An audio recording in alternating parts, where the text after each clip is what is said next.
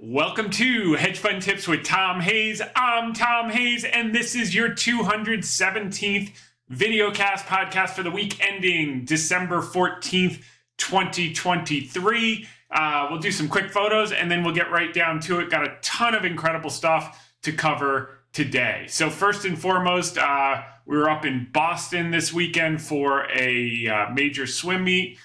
Um, and uh, let's see, Annabelle was the 10 and under high point winner at the Charles River Invitational in Massachusetts this weekend. And Mimi qualified for Eastern Zone Championship in the 500 yard freestyle with a time of 5 539.36. Uh, so very, very exciting and very proud of them. That's Annabelle High Point, and that is Mimi with her amazing coach uh, Connie, and uh, was just a great weekend. And then Saturday was a four day meet. So Saturday I took Mimi to Brown for, I believe it was an ODP camp, which is Olympic Development Camp. So that's her at Brown University. We had a fun day. And that's my lefty champ, which is a big deal in water polo if you're a lefty. Uh, that's uh, Brown, the bear at Brown. So that was pretty cool uh, more lefty action, controlling the point like a champ. That was great. Uh, this, I don't think I shared with this when I did the uh, Schwab Network at the NYSE. Oh, wait, no, no, no. This is Fox Business. This is the amazing Christmas tree in front of Fox Business with these little, uh, you know, holiday uh, people. Uh, that's the News Corp building. I know some of you have seen this. This is inside the Green Room. This is also where Gutfeld is recorded, the studio that Charles uses from one uh, from Monday through Thursday. The one on Friday is uh, in the other building, but uh, pretty exciting there. So uh, you know, I know some of you like the the uh, behind the scenes views, so I like to try and do that. But uh, this segment with Charles, I want to go into. We cover three turnaround stocks, general outlook. We're going to go here. All right, my next guest says, "Be long, Santa." And short the Grinch. I'm going to bring in Great Hill Capital uh, Chairman Thomas Hayes. All right, Tom. Tom. I mean, we got we got Santa, we got the Grinch. How do you go? How do you how do you short the Grinch? Well, you keep staying long and you continue to buy, buy the dips, even if Chair Powell's a little hawkish tomorrow. You know he's going to come out. He keeps talking hawkish and acting dovish, and that's what we're going to see. We're going to get forward. back to that point then because it wasn't uh, maybe a week or so ago when uh, Chair Powell made, he read from the script, yeah. and the street interpreted it exactly the way he didn't want him to, right? That was that day we had that big rally. We really haven't looked back since. And I remember we had a series of those kind of things happen, and then there was a, the, the big event in Wyoming where he dropped the hammer on us. Could, could Powell become frustrated with the fact that the street's not listening to him? As long as he doesn't say autopilot, we're going to be okay. you know, the, the, key here, I think the theme is broadening, okay? So moving forward, buy the dips, but where do you buy the dips? I love the chart you put out with the Magnificent Seven down and the rest of the market up. Uh, you look at uh, large caps trading at 18.9 times forward, mid caps 13.9 times, small caps 13.2 times forward earnings. Right. So we want to look for the opportunity for outperformance in 2024, mid to small on a relative basis. One of the reasons I really love having you on the show is you bring ideas that uh, a few others do. Yeah. Really, and, and, one of them is they're kind of gutsy. Yeah. I mean, you, you do some serious bottom fishing. VF Corp. Yeah. VF Corp. I mean, you can see this chart, folks. This is from 2021. I mean, this bad boy is like, yeah, right. Uh, had to do the sound effects for this one. But I can see, okay, you've got these key moving averages. Maybe it's form support here. But you also like the fundamentals. Yeah. Well, they don't call me Turnaround Tom for nothing. I always bring the turnarounds for 2024. Uh, the key story here is new management change. Bracken Darrell, he came from Logitech. When he took over Logitech in 2013, the stock was down 82%.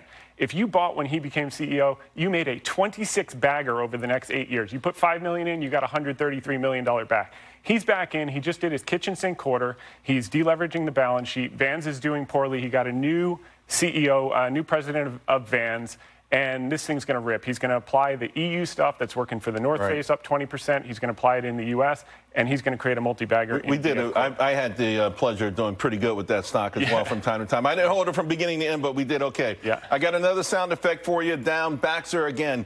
Uh, since 2022, it's been unmitigated. I guess they don't have any fat loss drugs. That's right. It's the, it's the antithesis of that. So this is sold off. It's down 65%. Uh, overhype on the GLP-1s. All the medical devices were down. All the food companies were down. A lot of the staples were down. Uh, but the fact is they've doubled free cash flow year on year. Uh, they're turning it around. And, and here's the problem. They've historically traded at a 19 times PE. They're now trading at a 12 times PE. How are they going to solve that? They're going to spin off their slowest growing business, which is the kidney business, in the first half of next year. That's going to take the multiple back up to right. a normalized level, re rate. Plus, they sold off a business, uh, created $4 billion of cash. They're paying down debt. That's going to save $100 million, $180 million a year of interest expenses on an annualized basis. See, and the reason, again, I love that you come, you know, it's not just, you know, it's, it's fundamentals, yeah. it's oversold stuff, and I want to give you some props. September, early September, you gave a CCI right about here, and uh, this thing, the high 90s, been as high as $114 a share. This is a hell of a move already, but I think yeah. you're looking for more, right? Absolutely. Uh, Elliott Singer, uh, Singer came in, Paul Singer with Elliott Management, activists. They want. They said he came in and he said, uh, "Excuse me, board, I'd like to fire you, and I'd like to fire the CEO. and by the way, Mrs. Lincoln, how was the play? Uh, guess what?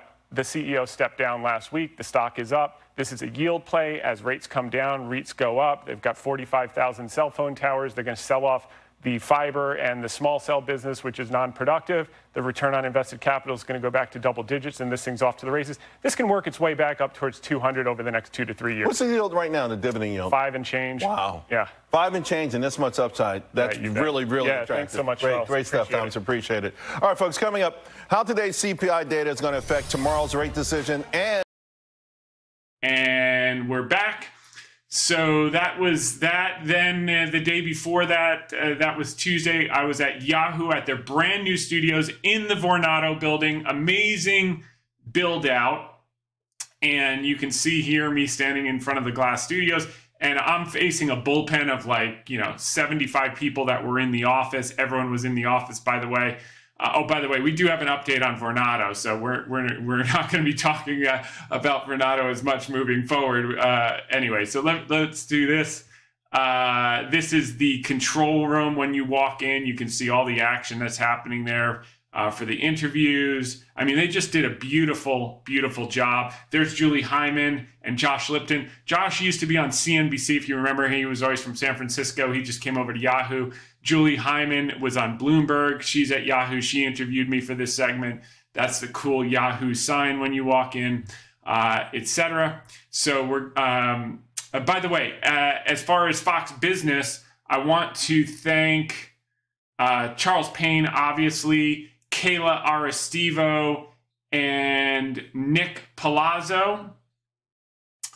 And for Yahoo, I want to thank Julie Hyman and uh, Sydney Freed for having me on. Bear with me, guys. I was up at three o'clock this morning to do CNBC Indonesia.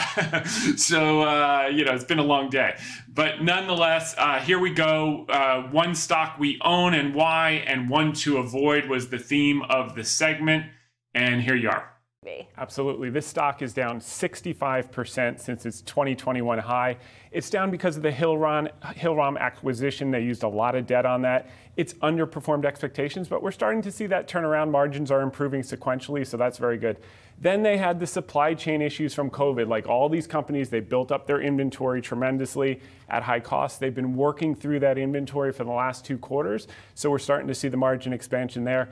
And then, of course, the GLP 1 fears. That was the final nail in the coffin. You saw it on the yeah. uh, lower lower right side of that chart. Yeah, we can take it uh, back th- for real quick. Yeah, look at this it. right here. Yeah, most definitely. Uh, that was when there. everyone was saying everyone's going to lose weight. No one is ever going to get a medical uh, procedure again because we're going to be healthy. But the problem is, even if they're correct and we lose all that weight, we all go out and play pickleball and we have knee problems, we have shoulder problems, we have hip problems, we play golf, we get more active. So uh, those are the three reasons that it's down. We think the valuation is tremendous here, which right. uh, goes to our next point. Yeah, so let's talk about the valuation a little bit. Valuation and performance, as you point out, and you're looking specifically at the price to sales ratio as a measure of valuation. Obviously, you've seen that come down also. Yeah, it's trading at 1.2 times sales. This is very, very low historically and just absolutely. Uh, it's also trading its historic PE multiple, price to earnings multiple, uh, historically has been about 19 times because this has been a grower.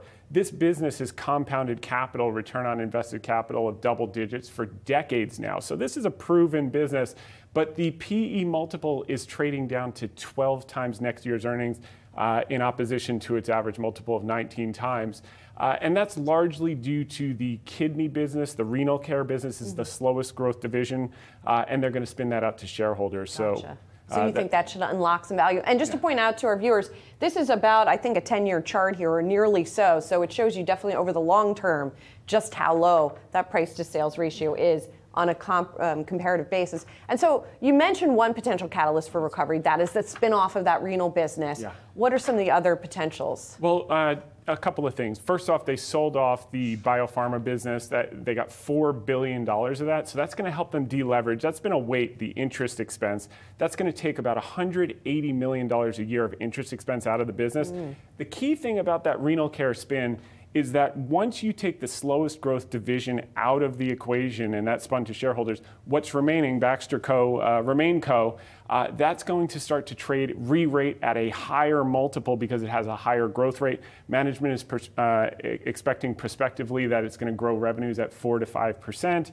The margins are improving sequentially as we work through the supply chain issues. So we really like the story. We think Baxter can work its way back to sixty dollars over the next 12 to 24 months. So it's a longer term play. Gotcha. There'll be some bumps in, ro- in the road along the way, but we do think the GLP hype is a little overblown here. Okay, so what we like to ask people what the biggest risk then is for that bullish case here, and you're saying maybe it has to do with pricing power. Yeah, I think you know management has in their assumption of the long-term top line growth rate of 4 to 5%, that they're going to have some pricing power. And the risk to that is they have competition that has have similar products out there and they don't innovate quickly enough.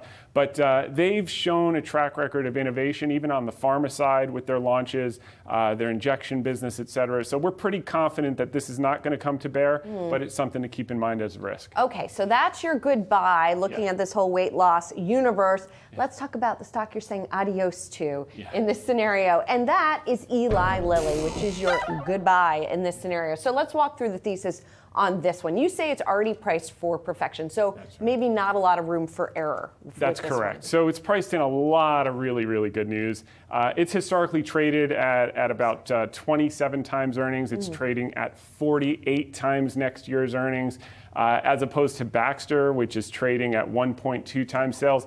This is trading at 15 times sales. This is unprecedented. You're paying for 15, not 15 years of profits, you're paying for 15 years basically of revenue. Uh, and uh, we understand the growth, we understand the, the valuation, but this has really just gotten too ahead of itself even if you believe all the good things are going to happen. Right, and we should just mention there actually happened to have been some news today yeah. on Eli Lilly, Zepbound, which is their specific weight loss drug that is the uh, basically counterpart to Mounjaro, the yeah. uh, the uh, diabetes drug. There was a new study that came out and said people who were on it, once they were off it for a year, they gained back half of their weight. Yeah. Now they're still a lot lighter than they used to be, but nonetheless, that was hitting the stock a little bit in yeah. today's session. So just something to think about as well for folks. So competition with lower prices is one of the other things that you're looking yeah. at. Yeah, expectations are these type of drugs, the GLP-1s.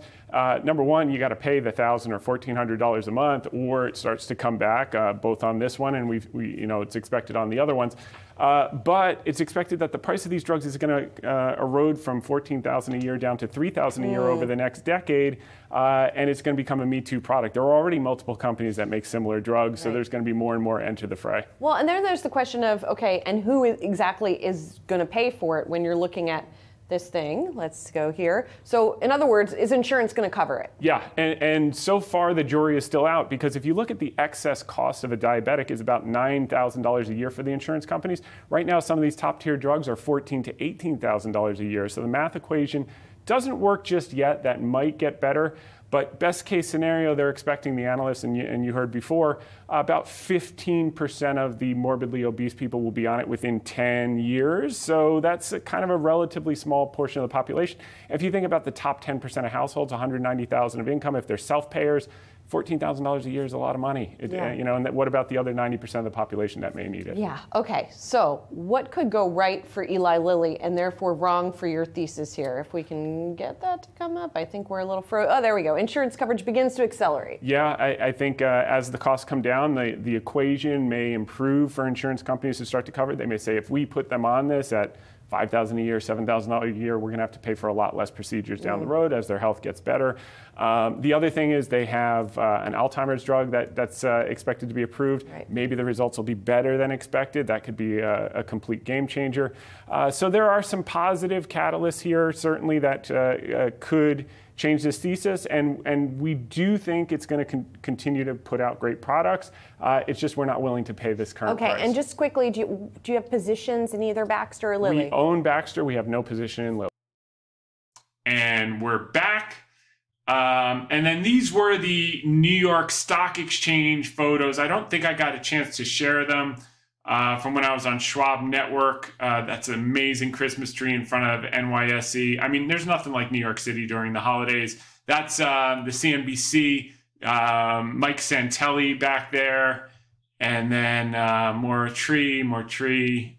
Uh, that's um, Nicole Petallides, who I was on her show. That was the person who was on right before me. Uh, and I think that's it for that. And then finally, we had uh, uh, we also had um, last night. Everyone loves Phil Yin from CGTN, as well as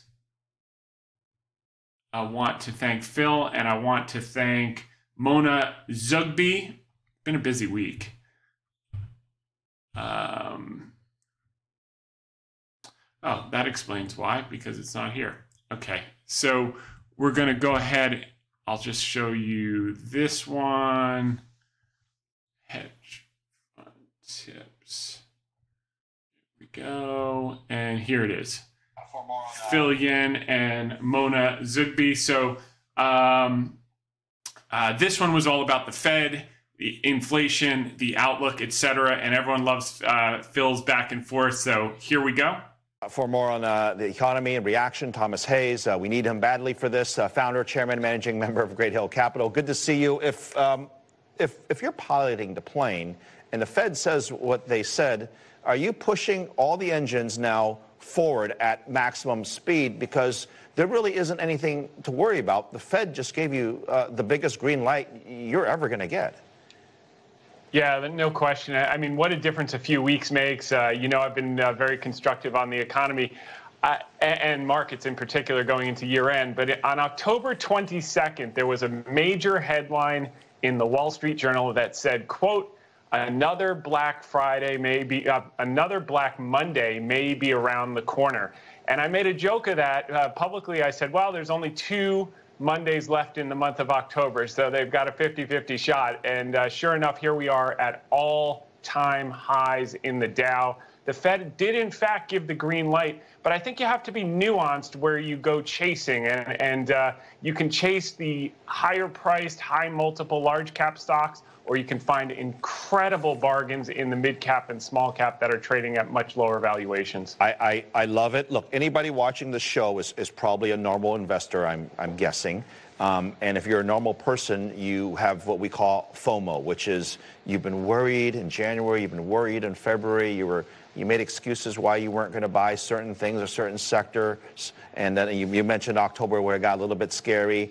But here we are you've missed out probably on a lot of gains, and you've got three weeks left in December. And, and we all know what the answer is. When you're scared of missing out and you get greedy, you're going to buy almost everything. What are we buying?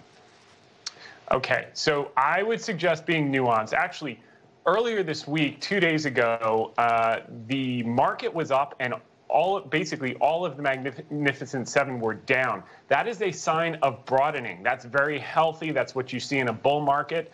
Uh, when you have very narrow leadership, it's not the best scenario. Now that we have the broadening happening, uh, large cap is trading at 19 times next year's earnings, a little bit above average, the historic average. Mid caps are trading at 13.9 times next year's earnings, and small caps are trading at 13.2. So we're focused on turnaround plays. They don't call me Turnaround Tom for nothing, Phil. Uh, we like uh, VF Corp is a company that we own, and the reason we bought it, they have North Face, Timberland, Vans, Supreme, Dickies. It's fallen 85% from its pre pandemic highs. They just got a new CEO. He did his first quarter, the kitchen sink quarter. His name is uh, Bracken Darrell. He came from Logitech. When he joined Logitech, the stock was down 82% in 2013. Over the next eight years, B- all right, BF, right? That's your turnaround play. What VF Corp? What, yeah. What what happened to the jobs? What happened to the college uh, payments that were due? And we're all supposed to be saving money. And consumer stocks were getting hammered. All those discretionary stocks, including the one you just mentioned, are all part of a giant basket that everybody was worried about. What happened? What happened is you can never count out the U.S. consumer when they have a job, and somehow Jay Powell has navigated the uh, the holy grail, the uh, immaculate disinflation, where he was able to bring down inflation without destroying the jobs market. And when Americans have jobs, they spend money. Period. Over and out. Never bet against that. And then what's this about these these uh, two rate cuts that the Fed is quote hinting at because of the, the dot plot. I don't want to get too technical here, but the bottom line is the expectation now is for at least two rate cuts in 2024. What is that yeah. going to uh, depend on? I, I, guess you're obviously, if you're bullish, you're betting on that, if not more. But how should the average investor view this? I'm bullish and I'm betting on less than that. So they've got three in the dot plot for next year, and then they've got some more in 2025, expecting uh, the Fed funds rate to be down to 3.6% by 2025. Uh, end of 2025. I'll take the over on that. I don't think they're going to need to cut as much as they think. I do think this the economic engines are humming. Uh, and after maybe a couple of cuts, it might be a mid-cycle type of situation like 1995, where they can just let the economy run and, and they're not going to have to take rates down as aggressively as the market is pricing at the moment. In, in, other uh, words, if the if the economy is strong, why do they need to cut? Right? I mean, the, the, whole purpose of cutting is that if you need to stimulate the economy, but if the economy is is on fire, it doesn't make sense that the Fed would, would, would cut. Am I well, reading that correctly?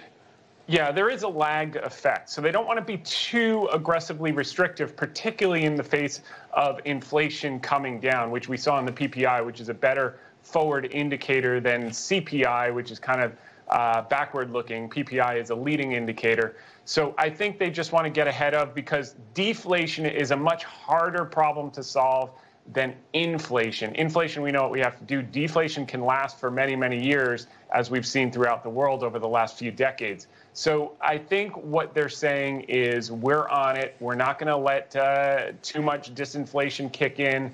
We will be at the wheel, and uh, and the economy's fine. Jobs are, are fine. The economy's strong. Earnings are expected to go 12 12% next year. And by the way, the most important thing is uh, all these CEOs were prepared for a recession that never came this year. So they cut costs. They were I, they were very is, conservative, and margins are expected to go up 60 basis points next year, expanding it, margins. If, if you read the headlines from this year, you would have hit in the corner, and and this is an incredible turnaround. Uh, that's why I guess uh, we can call you turnaround Tom. I had I think you had a pretty good year this year. Uh, I'll see you soon, yeah, Tom. Thank sure. you. Sure. Thanks so much, Phil. Uh, in other news. And we're back. So that was CGTN America. And then finally this morning, I was had the privilege to be on CNBC Indonesia with uh, Maria Catarino, thanks to Maria, and Fitria Anggrani, all about the Fed. Here you go. Bersama dengan Chairman and Managing Member Great Hill Capital, Thomas J. Hayes. Hi, Thomas. Hi, Maria. Great to be with you. Yeah, great to see you. Uh, Indonesian market has a, a give uh, get back uh, early uh, Christmas gift from the Fed after the Fed decide to hold interest rates. Uh, how uh, will the U.S. market respond? Wall Street uh, and then Dow Jones Index are reportedly having a big because of it. Thomas. Yeah, well, Maria, Chairman Powell achieved something that no one thought he would be able to do. We call it the immaculate disinflation. He was able to bring down inflation without uh, destroying the jobs market. And now that he's done his dovish pivot uh, towards cuts, the market has really taken out, off with the Dow Jones hitting all time highs at 37,000. I think moving forward, we'll continue to see gains uh, through year end. Santa Claus will come to town, a Santa Claus rally. But the opportunity now is is looking at those stocks that have been left behind because a lot of our gains in the US in the first you know seven or eight months have been driven by tech, large cap tech. Uh, but the S&P, the large cap index, is trading close to 19 times next year's earnings. We want to focus on the mid cap index, which is trading at only 13.9 times forward earnings, or even the small cap index trading at 13.2 times next year's earnings.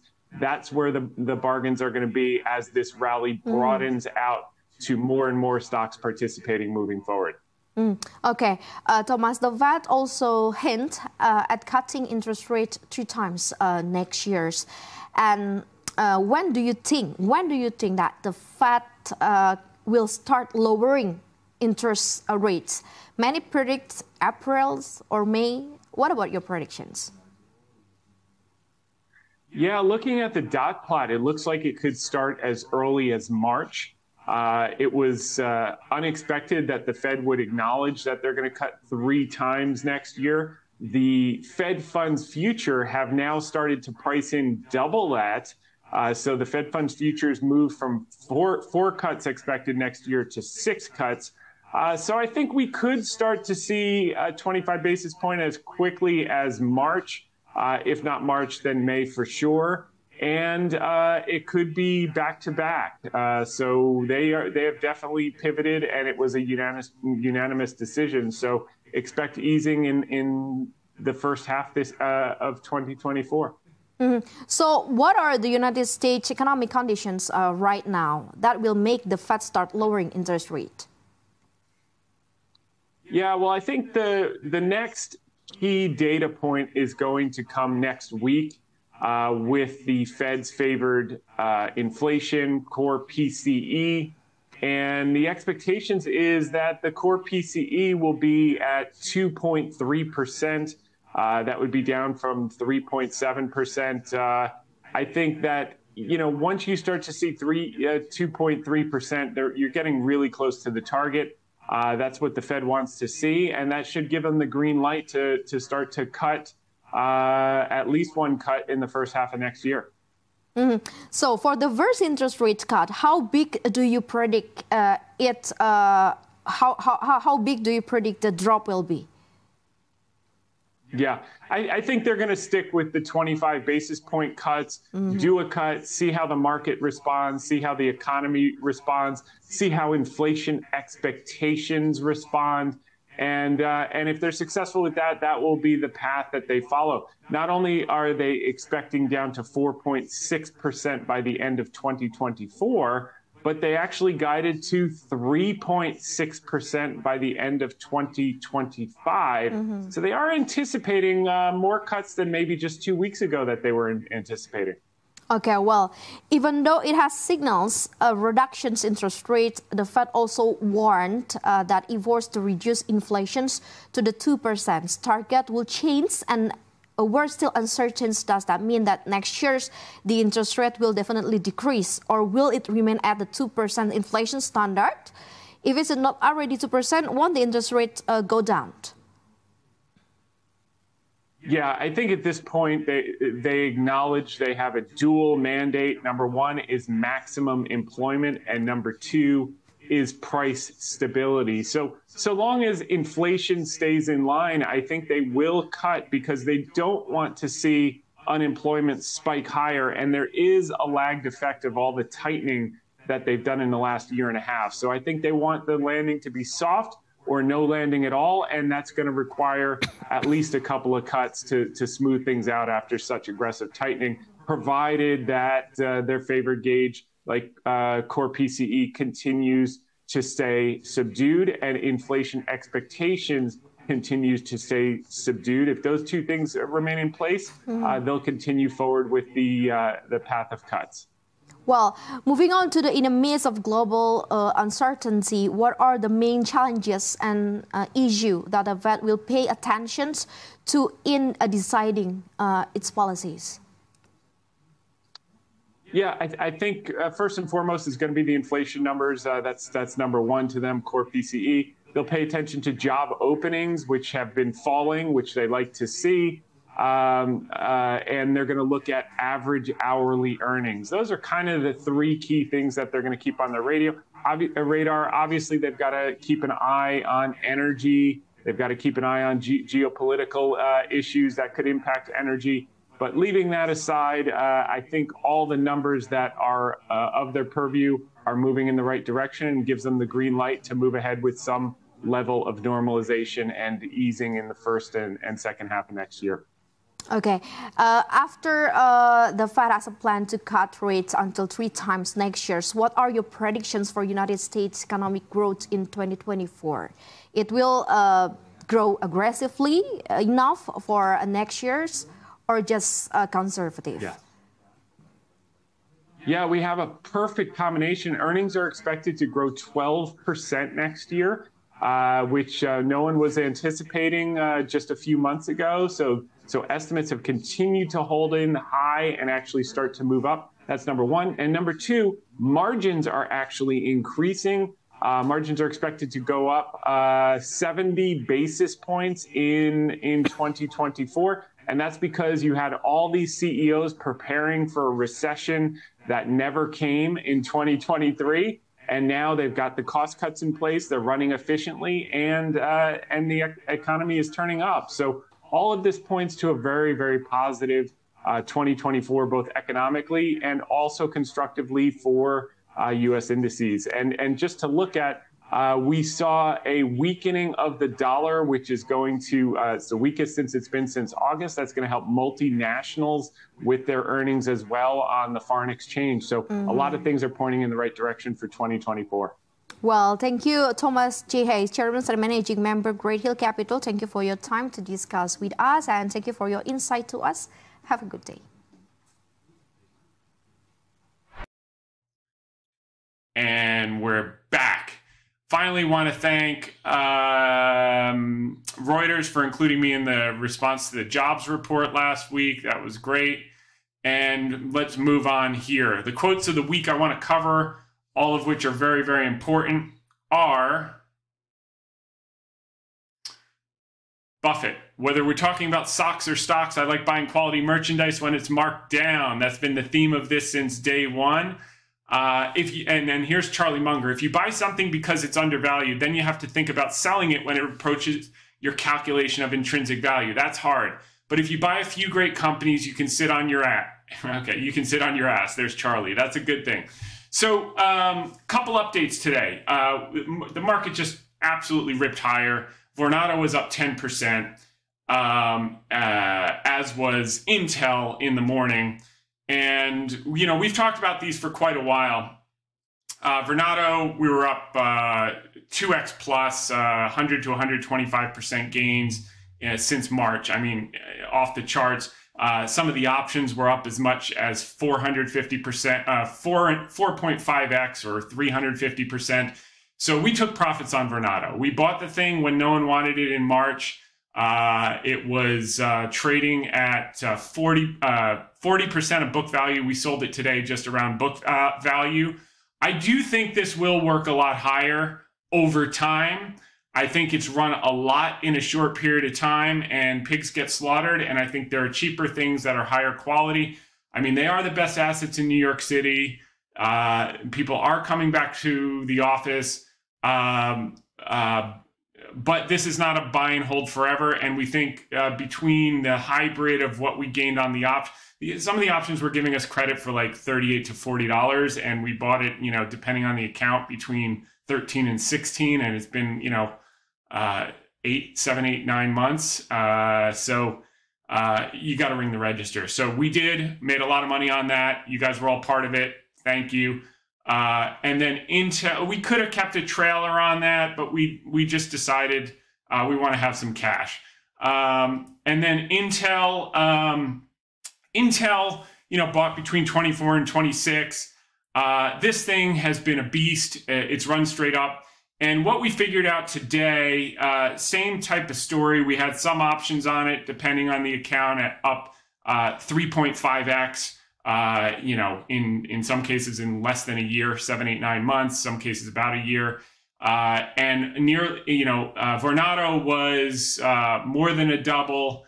Um, you know, 125% on the stock. You know, 225, 2.25x. Um, Intel was almost a double, a little bit less than a double from 25.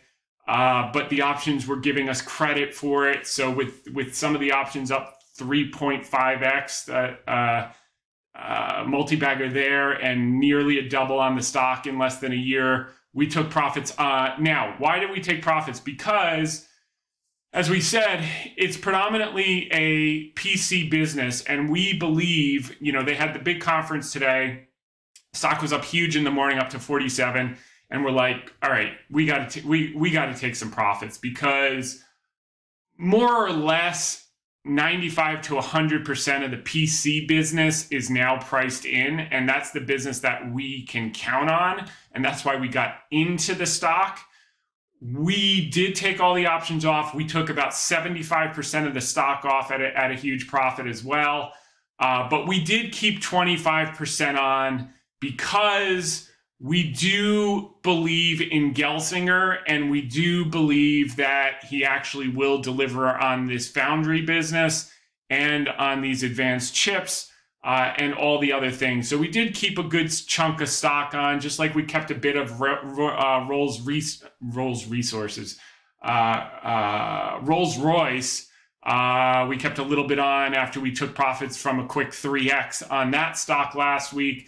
Um, so we're going to keep a little trailer on Intel and st- uh, pretty big trailer for the future because we do think it can move a tremendous amount of higher. It's just moved a tremendous amount in a short period of time, and we want to free up some capital for uh, cheaper opportunities right now uh, to put money to work. You know, if Intel drops back into the 30s, we may we may put back on the full position, but uh, uh this was a win, and we're gonna we're gonna take them. Ring, ring, ring! Amazing stuff. Um, so look, the theme is the seeds planted in 2022 have blossomed hugely in 2023. Think Amazon, Google, semiconductors last fall when no one wanted them. We were pounding the table like crazy. Go back to our October notes and podcasts.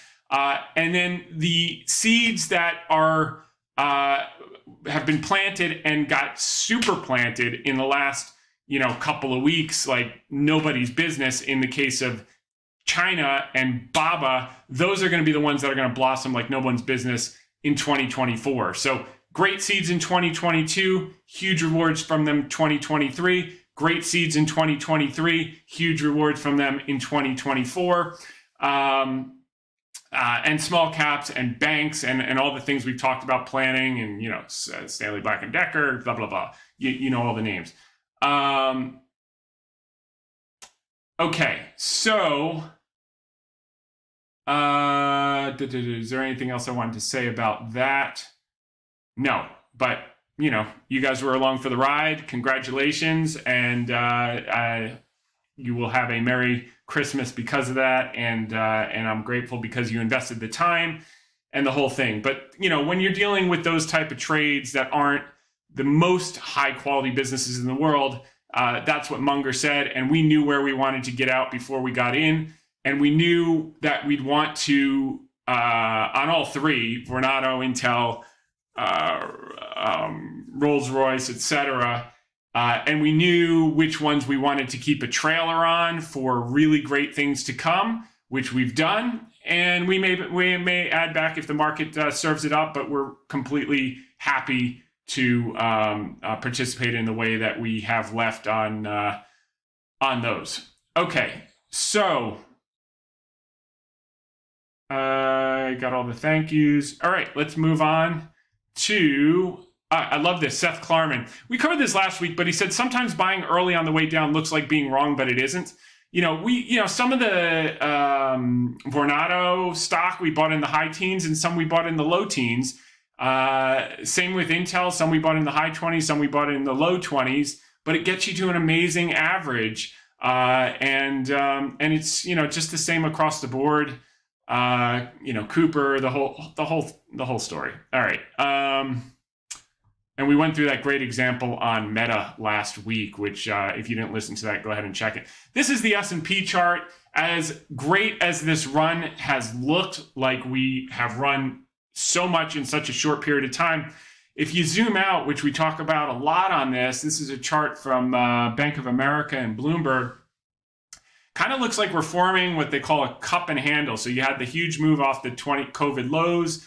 Uh, now we've spent two years consolidating sideways with basically no gains. The measured move on this, when you have these cup and handles, implies that uh, this market can move up to 5,600. And if you listen to Yardeni on Charles Payne before I was on the show on Tuesday, uh, he was calling for uh, S&P 6,000 by 20 end of 20, 2025. Uh, and that's in line with this measured move to the 5,600 plus. Election years for an incumbent tend to be pretty good. Uh, from the general indices standpoint, I don't think it'll be as good as this year. From the under the surface non magnificent seven, I think it'll be one of the best years ever. Small caps, banks, emerging markets, those are the themes for 2023 dollar weakening, 2024 dollar weakening. And I think that the tech, you know, we haven't sold our Amazon, we haven't sold our Alphabet, but I think they're going to do less well. They're going to be slower movers probably slightly less than the general indices, high single digits to uh, mid teens max uh, for an election year. You figure 12 to 15% range. Um, I think 8 to 12 is better. But under the surface, the small cap catch up, which won't move the needle on the indices, mid caps, uh, some of these turnaround stories that uh, have low weightings in the indices are going to rip doubles and plus, and all these seeds are going to be monster crops in 2024. So we're excited. But just looking forward, if you think you missed anything, you're, you're really going to miss it if you miss 2024 because then you, you, have missed everything. Uh, but this is really just getting ready to launch. And uh, even more so, you'll see the small caps and the Hang Seng, which we're going to co- cover in a minute. Uh, they're just coming off the mat. Like it's like buying at the pandemic lows. If you feel like you missed it, uh, you're, you're really going to miss it if you miss this op. This is going to be one of the greatest, as amazing as 2023 was, wait until these things play out in 2024. The indices are going to be like, you know, snore and like, it's going to be like Cooper Standard. It's like, everyone always asks me about Alibaba and, and like you, you, we've had like, you know, uh, a negative contributor with Alibaba, and everything else is like up multi multi baggers all day long, and all anyone wants to talk about is Alibaba. And um, but that's you know that, that, that's the joke, right? You know, everyone uh, focuses on everything that's worked. It's just what hasn't. Uh, but that'll be the opposite story in 2024. Um, uh, you know, when uh, everyone will have missed it because they sold in the hole in the 70s and 80s, just like they did with semiconductors and tech last year. Uh, and it's just the way the game works. Uh, we wish it were different, wish it were easier, but uh, it is what it is. Now, oh, and biotech, by the way, I mean, unbelievable. These things, uh, by, and I said when it comes, it comes all at once. Baba and Biotech have done nothing for a year and a half. They've just been grinding sideways, wasting our time talking about it while while we got all these other things going that were like doubles, triples, uh, and no one cares about them. But these two are going to be beasts in 2024, and I'm I'm grateful that everything else did so well that we could rebalance and get huge exposure to them going into 2024, where um, I'm so excited for uh, what's going to take place there. But they're they're already starting to outperform the biotech, and we'll see the others uh, soon enough. Uh, this is interesting. This is from uh, Goldman Sachs, and it talks about some people are like nervous, like, well, if if the Fed's cutting rates, doesn't that mean bad things are happening. Um, that is recency bias from the 2000s if you go back before them, 95, and the best example, uh, 80 to 82, if you're cutting in a reset, if it's recessionary cuts, you get bad market outcomes. If it's expansion cycle cuts, you get great outcomes. 80 to 82, you cut from the peak. That's probably the best analog. Uh, set the stage for an 18 year bull market rally. I think we're halfway through the secular bull. We've got another, you know, through the end of the decade, early into next decade, before the millennials turn 41, and then uh, demand will wane, and we'll have, you know, corrections uh, along the lines of what you saw in 2000. Um, uh, but that's, you know, eight years off. We got huge, huge runway. These are expansionary cuts. You'll see that as that plays out. Then you had uh, weekly advanced decline. You're seeing breadth when breadth uh, expands. Uh, this is on a global basis. Great things happen. You could see it coming out of the um, uh, financial great financial crisis in uh, 2009 that led the way for multi-year bull then after the debt crisis in uh, eu debt crisis in 11 and 12 multi-year bull then after the 15 16 stuff with china by the way the last time we had this many outflows institutional outflows in china um, was uh, 2016 oh, gosh where is that chart um, I don't know why that one is not up. Okay, so I'm going to actually show it to you here. Uh, let's see, here we go. I'm going to show it to you on my phone because I can't pull it up fast enough on the Twitter.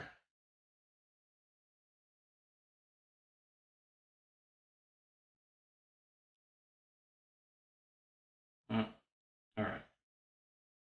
It's not coming up. Let's see. Okay, so here it is. Okay, so I put this out. And what you can see here is that the last, see those red bars there? There you go. The last time you had that much institutional outflows, look at the blue line on the Alibaba chart, was 2016. And that straight up, Alibaba basically went from 79 to 211 over the next 18 months after you had the outflows, after pessimism got that bad. Those of you who weren't around in 15 and 16, it was like the end of the world in China, exactly like it is right now. Look at those outflows. Look at the line, the blue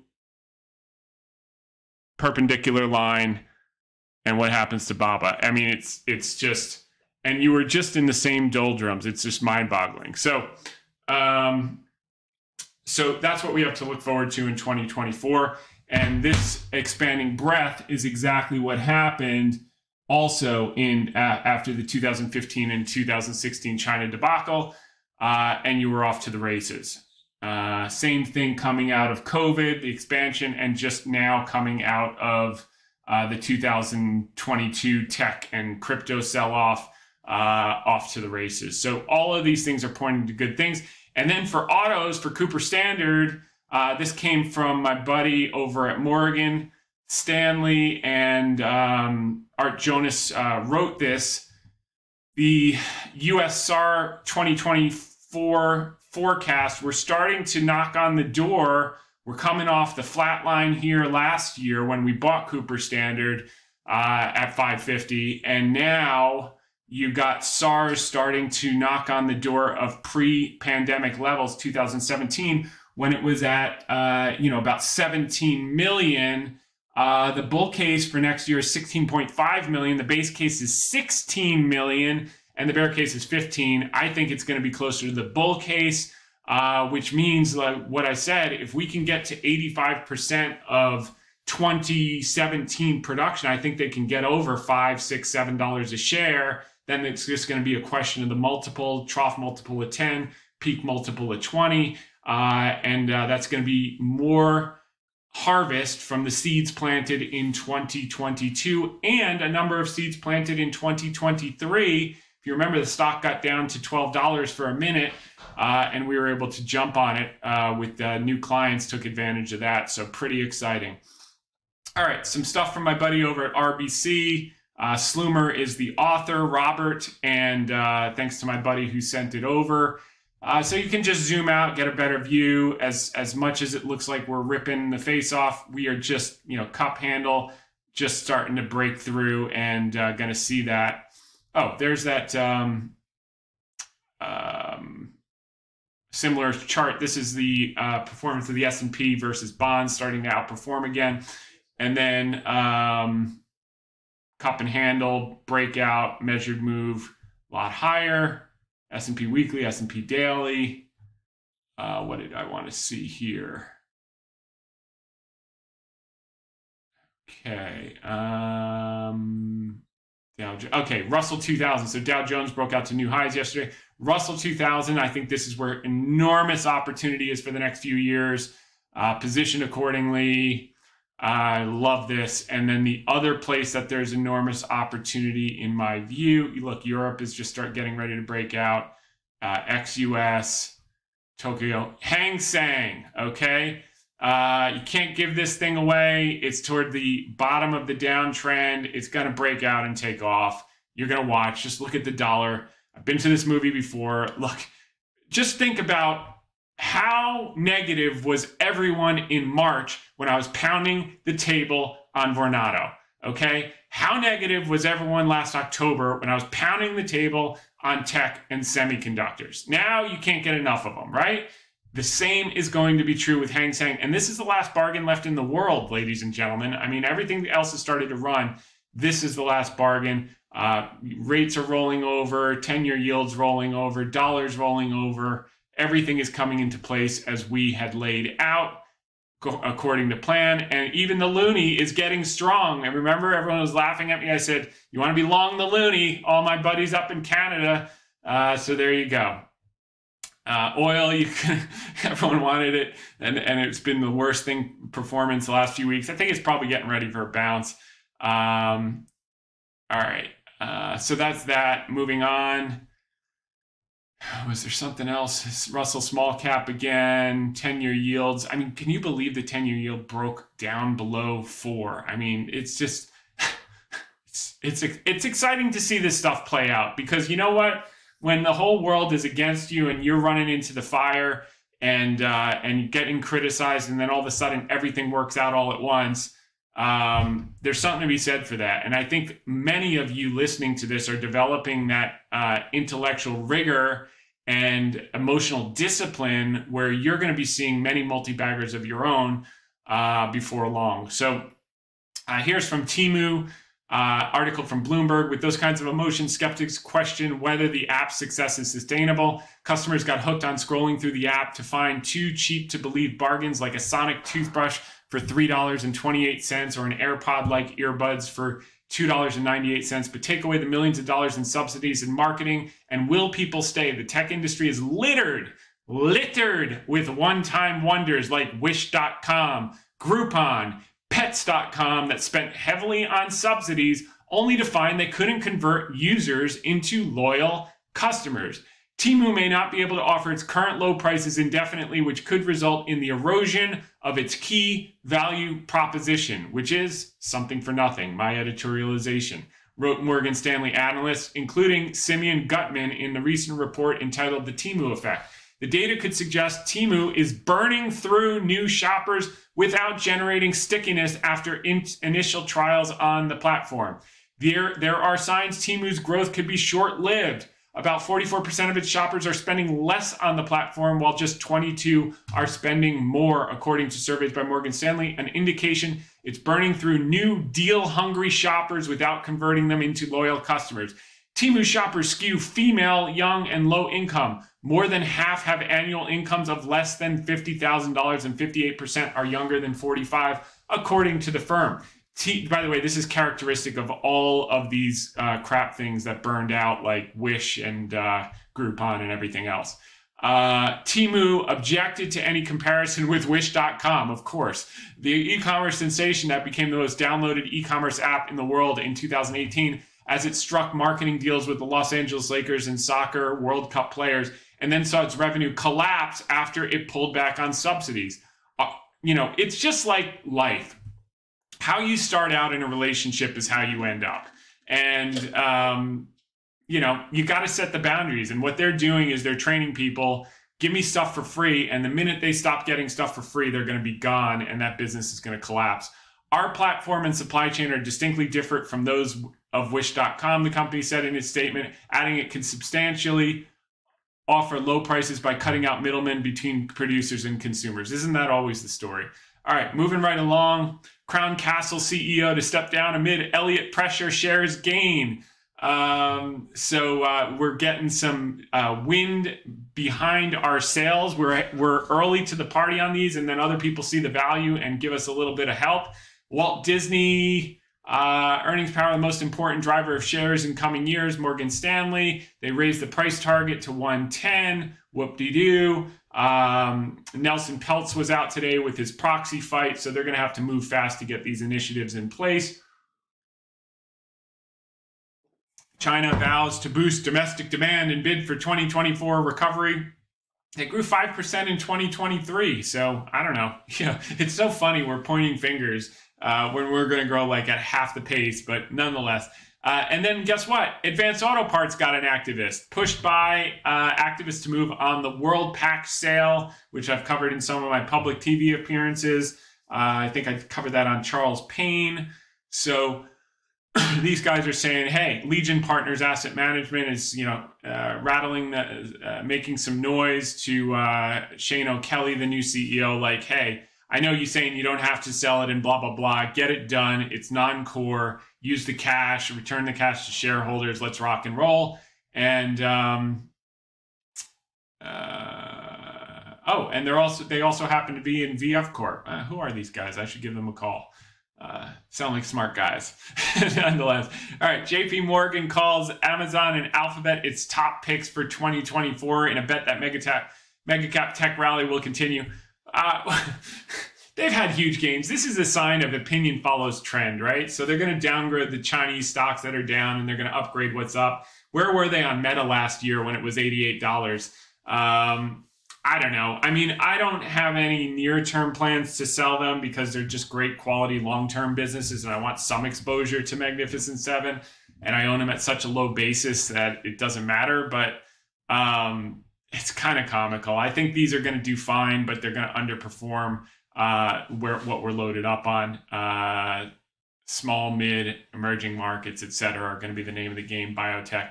Biotech deals are heating up. Why 2024 could be an even hotter for M&A. Remember, I've always talked about deals and drugs while it grinded sideways for a year. Well, now it's starting to take off and break out. Amen. Hallelujah. Wall Street Journal. It's biotech stocks time to shine. Opinion follows trend. Price goes up. Articles follow. Wait till the upgrades come. Biotech stocks undergo recovery after a year of wreckage. Wreckage it's the same price. It, bottomed last May or last March. It retested it in October. It's basically gone nowhere for a year and a half. How is that wreckage? Oh, and by the way, it's starting to break out now. But it's the Financial Times. They always write that kind of no- nonsense on their headlines. You just got to accept it. Fox Business. Uh, Intel CEO touts AI everywhere initiative ahead of event. And that's why when the thing hit 47 this morning, I said, buy the rumor, sell the news. Uh, and that's, you know, cha-ching. Russell 2000 on, but we did kept, keep a trailer because we do believe in this guy. Uh, Russell 2000 on pace for best month versus S&P in nearly three years. Okay, and the article of the week, how it started. Remember, just October 22nd, this was our cover picture for our article of the week. Another quote, Wall Street Journal, another Black Monday may be around the corner. And if you remember, my joke was, well, they've only got two Mondays left in October, so they, uh, you know, they got a 50-50 chance, like a coin flip. So that's how it started. Pessimism beyond belief. How it's going. All-time new highs on the S and on the uh, on the Dow Jones Industrial. So those are the TV things you did. Here's what the stock market looked like in October. Here's the blue box.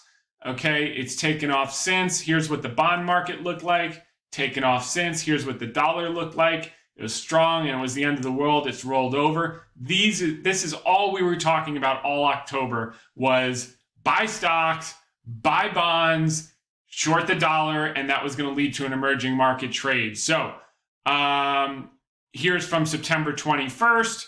You can see this. Now the dollar's down to, I think, 96. So it collapsed down from there. Uh, here's bonds, the TLTs back up over uh, towards 100. Here was the commitments of traders, which we covered every week for like three weeks. I said, guys, gals, this is like 2018. Hedge funds haven't been this this short bonds since the bottom before you had a monster rally. They are the dumb money. Look what's going to happen. And boom, bonds have absolutely ripped one of the biggest rallies in the shortest amount of time. And by the way, you'll get a pullback here, but just getting started, this is going to persist. I think you could probably go to 120 on the uh, TLT. So, um, and this was the, the article on September 28th. I said this is going to be another failed breakout. If you remember when the 10 year yield was going to 5%, now it's collapsed below 4 uh, it took us a couple more weeks than we expected, but that's the name of the game. October 4th. Uh, we talked about, you know, does this look like the end of the world? I was on the, the kayak in Portugal with my family. I was like, it's not the end of the world, ladies and gentlemen. There are opportunities. There's a pony in this pile. I wrote on October 12th. Got to got to dig in and uh, and rock and roll. And then on the 19th, I talked about the only chart that matters was the bond chart. Didn't quite snap back yet, and now it's absolutely ripped from those low levels. And then finally, um, uh, the uh, another Black Monday may be around the corner headline, October 26th article uh, of the week. And then finally on October 31st, weak sisters flush stock market. And uh, that's when we talked about PayPal. Um, I laid out the case for why we own it. It was trading at 51.40 that day. Uh, they've since reported results, so I want to update the thesis. I think it's uh, over $60 now, maybe $62. But it really, $50, $60 doesn't mean anything. We're not in this for 20%. We're in this for doubles and triples. So, um, okay, so third quarter results. Remember, new CEO, big catalyst. The guy came from Intuit, ran the small business, which was half of the thing. Intuit was like a, one of the biggest multi baggers of all time. You think Logitech was great with um, um, Bracken Darrell pales in comparison to what happened with Intuit with um,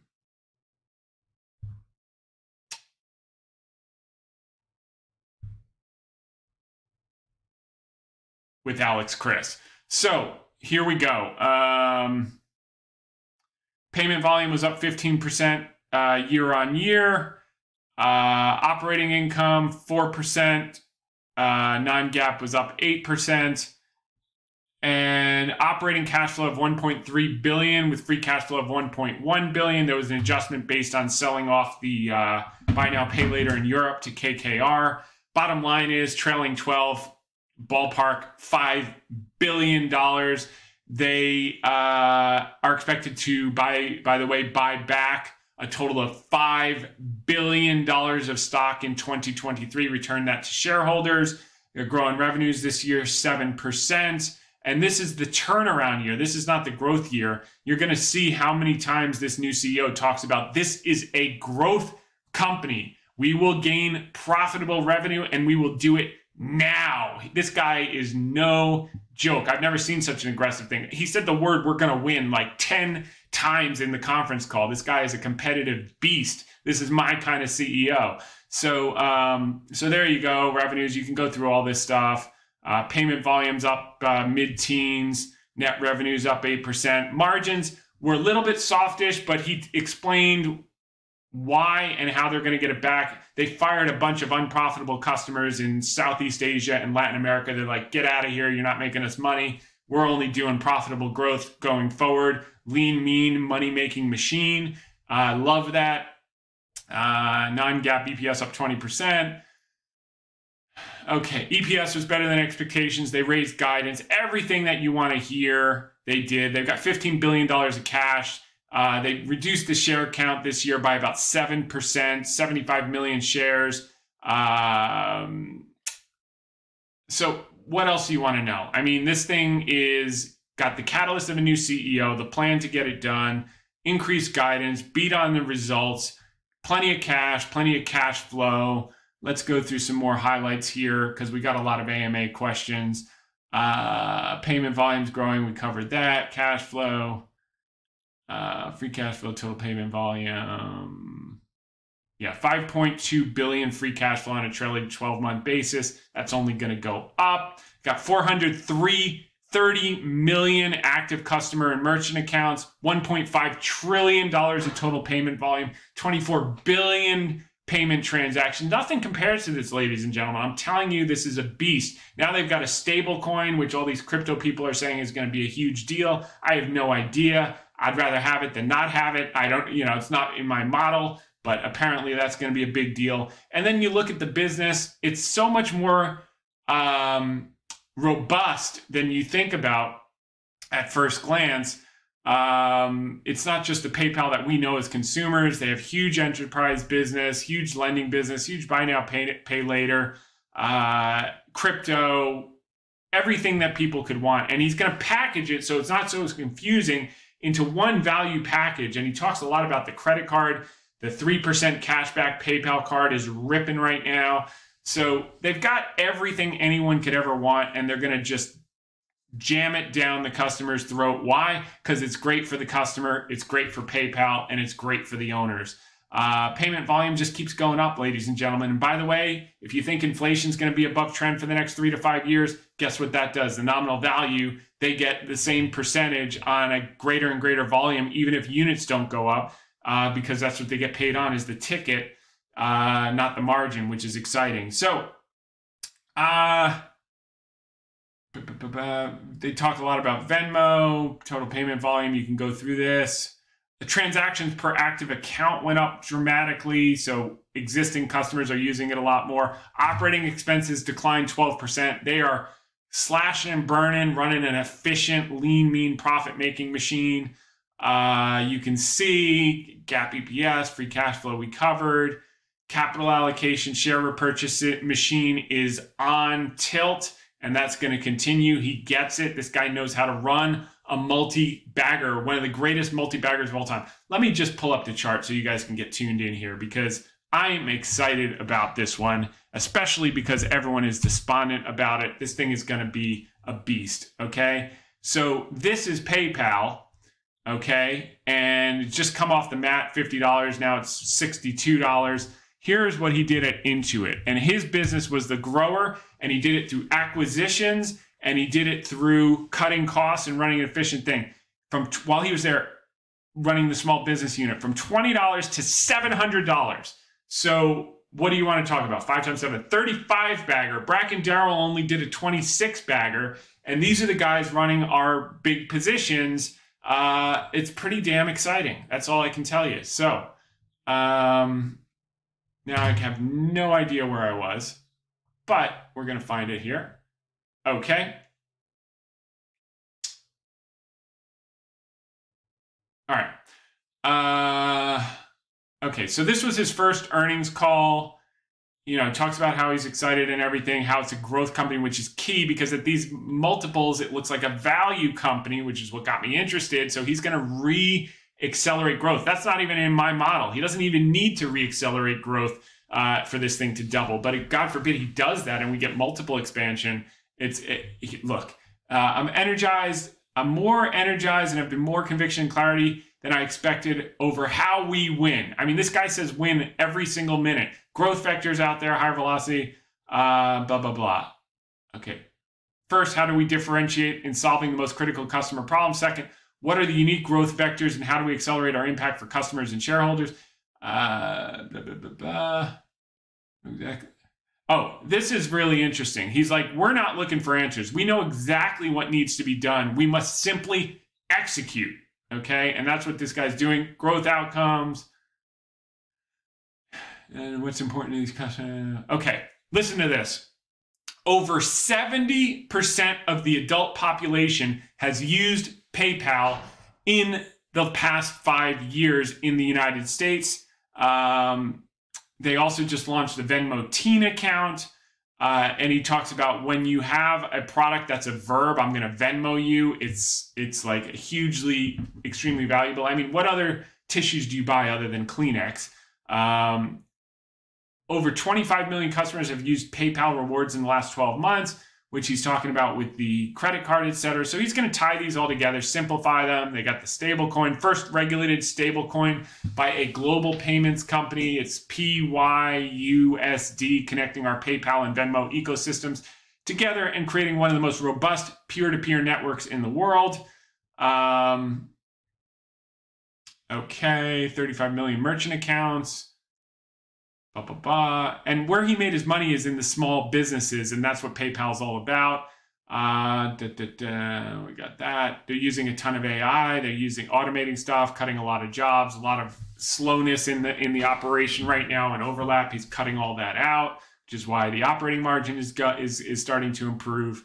Uh, when And then for everyone that was worried about Braintree because of the lower margins, he goes, we can win in the market and take share with Braintree, serving the largest enterprises such as Adobe, Booking.com, DoorDash, Ticketmaster, and Uber. I mean, I use Uber so much every time I travel or I'm in the city, and that's all paying myself because Braintree has that business and I get a piece of the action. I'm going to use Uber more. Uh, you know, $450 billion in volume out of an estimated 4 trillion to 5 trillion of global large enterprise e-commerce. That's approximately 10% flowing through us. People think of PayPal, they think of the stupid little button on the website or the rinky dink websites. Uh, you know, this thing is is the engine between behind 10% of the big businesses and they're going to get more and more share with this guy. This guy got me so excited about what he's doing with the company. Uh, and that's not that's not even why I got into it. That's one of the reasons. Like we didn't even need all this. This guy is going to make it amazing.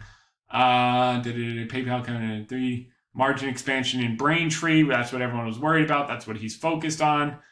Um, okay, high quality customer growth and okay so this is his focus high quality customer growth and profitable revenue growth going forward paypal will be focused on generating real profit for the company unprofitable growth is counterproductive to the long-term prospects of this or any other growth oriented company as management team will be guided by margin accretive revenue growth okay so he's not going to do dumb uh, dilutive acquisitions. This guy knows about margin. Laser, laser focused on operating leverage and making sure we manage our cost base with relentless attention and commitment. Cost base complex structure is slowing us down. Accelerate our revenue growth while reducing our expenses, helping to further drive our operating leverage.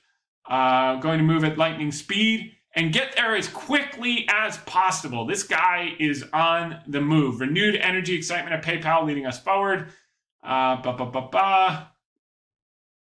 Okay, so the active accounts declined by 2.8 million as we quote continue to flush out low quality customers predominantly in Latin America and Southeast Asia. As a reminder, we said this would be a year where we churn off lower quality activities and in which total accounts would decline. And that's exactly what they're doing. Anything that doesn't make them money, they're getting rid of it because they don't want to service it.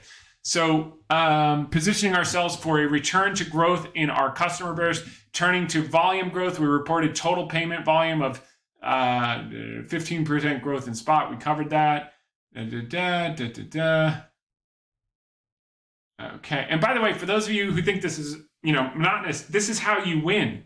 This is how you find the best investments. You look under every single rock. You attention to detail is absolutely paramount to getting multi-baggers. They don't just fall on your lap and like you just buy something because it's down and hope for the best. And you're going to find that it, those of you who listen into the AMA sections, we get one or two really great ones a week, but most of them are just nonsense that uh, are money losing, bad management, garbage things. And that's where people miss the point of bottom picking is because they're buying crappy things that are down versus buying good things that are just temporarily out of favor. And Buffett talked about that all the time, temporarily on the operating table, not dying.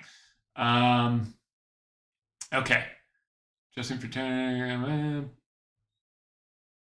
Okay, so you can go through this on hedgefundtips.com. By the way, this is opinion, not advice. Go to hedgefundtips.com, click on terms.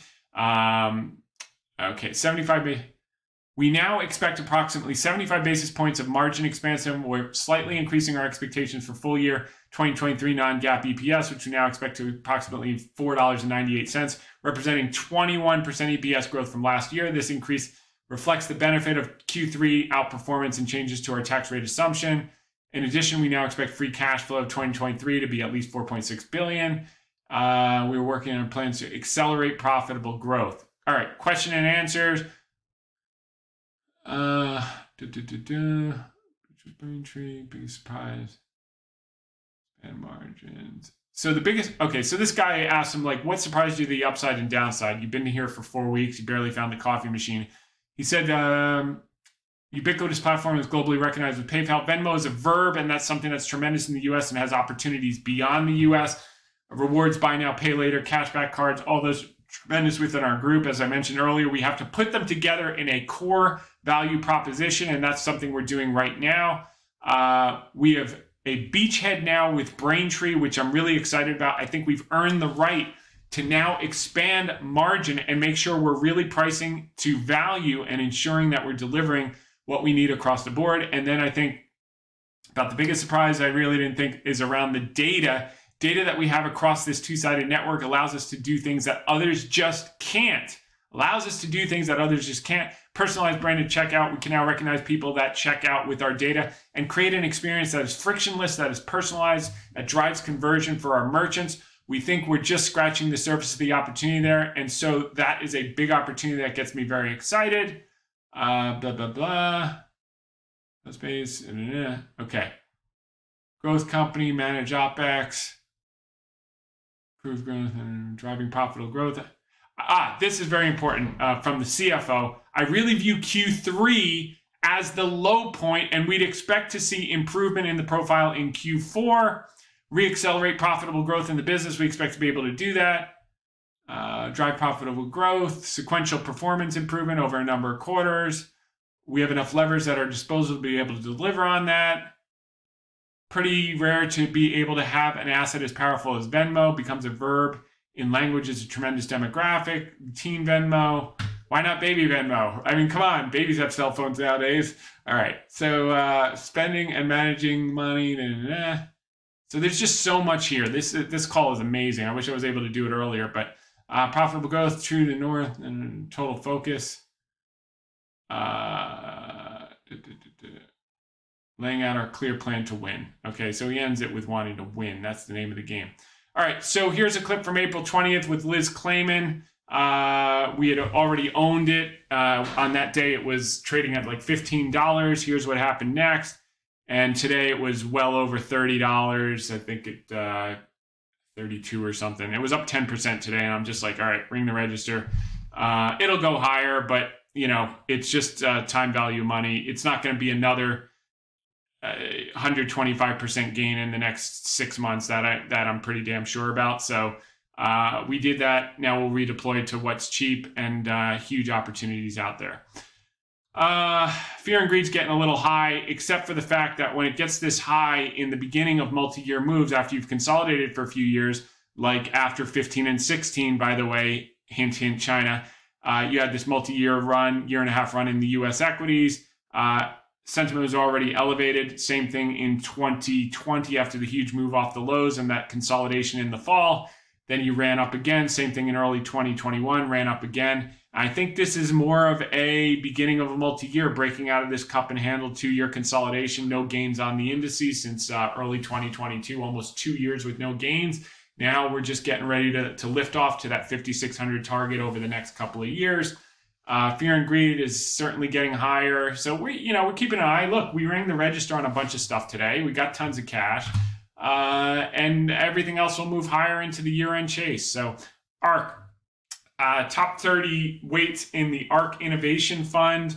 Uh, earnings revisions in the last 60 days. The earnings power of these stocks has risen by 70%. Yes, you heard me right, 70%.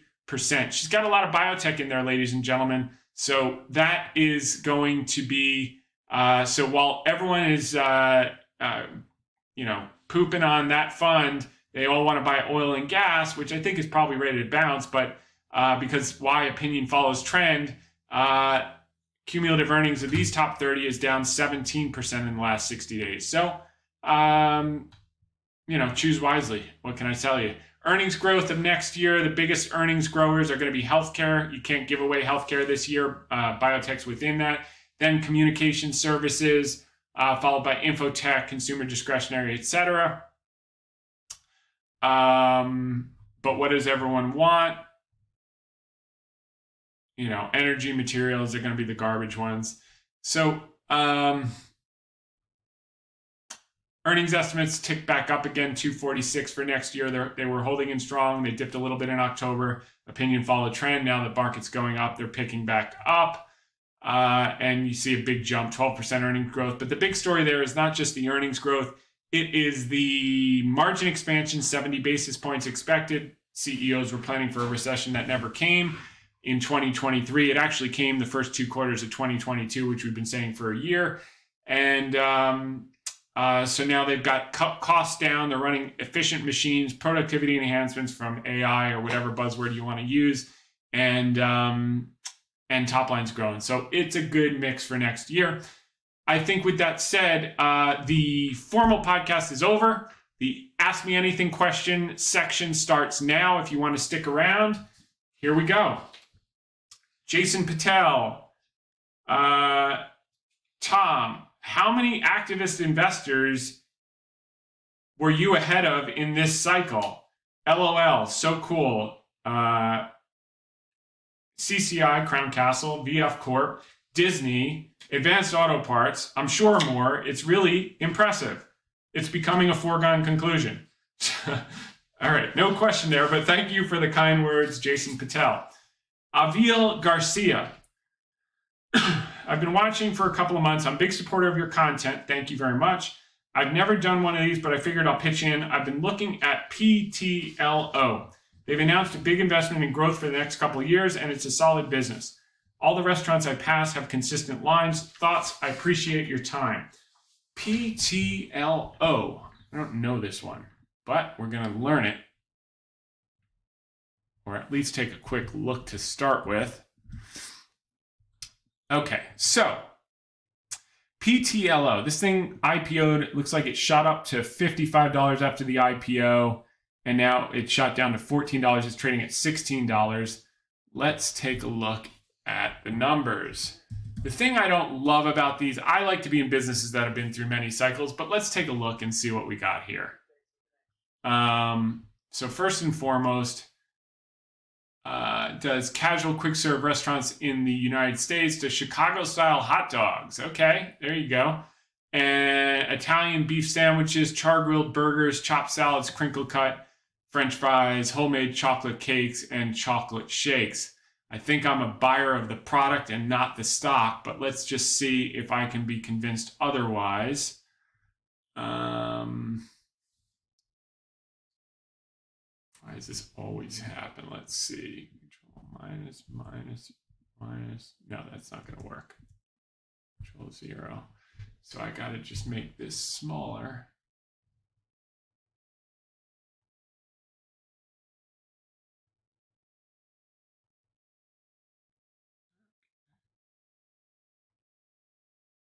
There we go. That wasn't so hard. Okay, same thing every Ask Me Anything question. One of these weeks I'll get it right. Okay, maybe by episode 300. All right, so um, we only got a few years of data. Uh, they dropped obviously during COVID. They picked back up. They're back into growth solid operating income. They're okay, making a little bit of money. So this is a growth story. I mean, this uh, they got 12 million of cash on their balance sheet. Let's see, what do they have in terms of debt?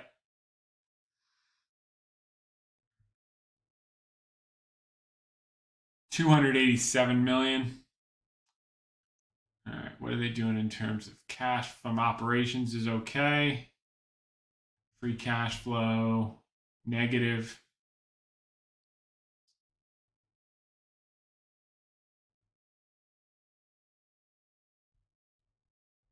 No return on capital. Uh, I don't know. I think I got to try their hot dogs before I do anything. But uh, leave. In all seriousness, I think what you have here, um, Aviel, is you have a trade at best. This is not a super high quality business. You'd really have to have some edge on the growth plans and on management's track record of delivering and the product, et cetera. The products sound right up my alley, I got to be honest with you. And the stock is down, you know, 65%. I like that too. Uh, they are inflecting into profitability. That's also good. The balance sheet, I'm not thrilled with.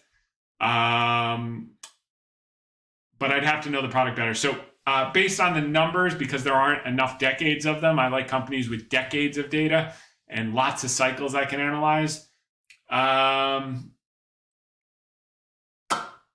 I would say uh, trade at best, worth exploring, but not the type of business we do. As you listen more and more, Aviel, you'll get a better understanding for the businesses that we do, and we like established, boring, seasoned, free cash flowing businesses uh, with durable moats.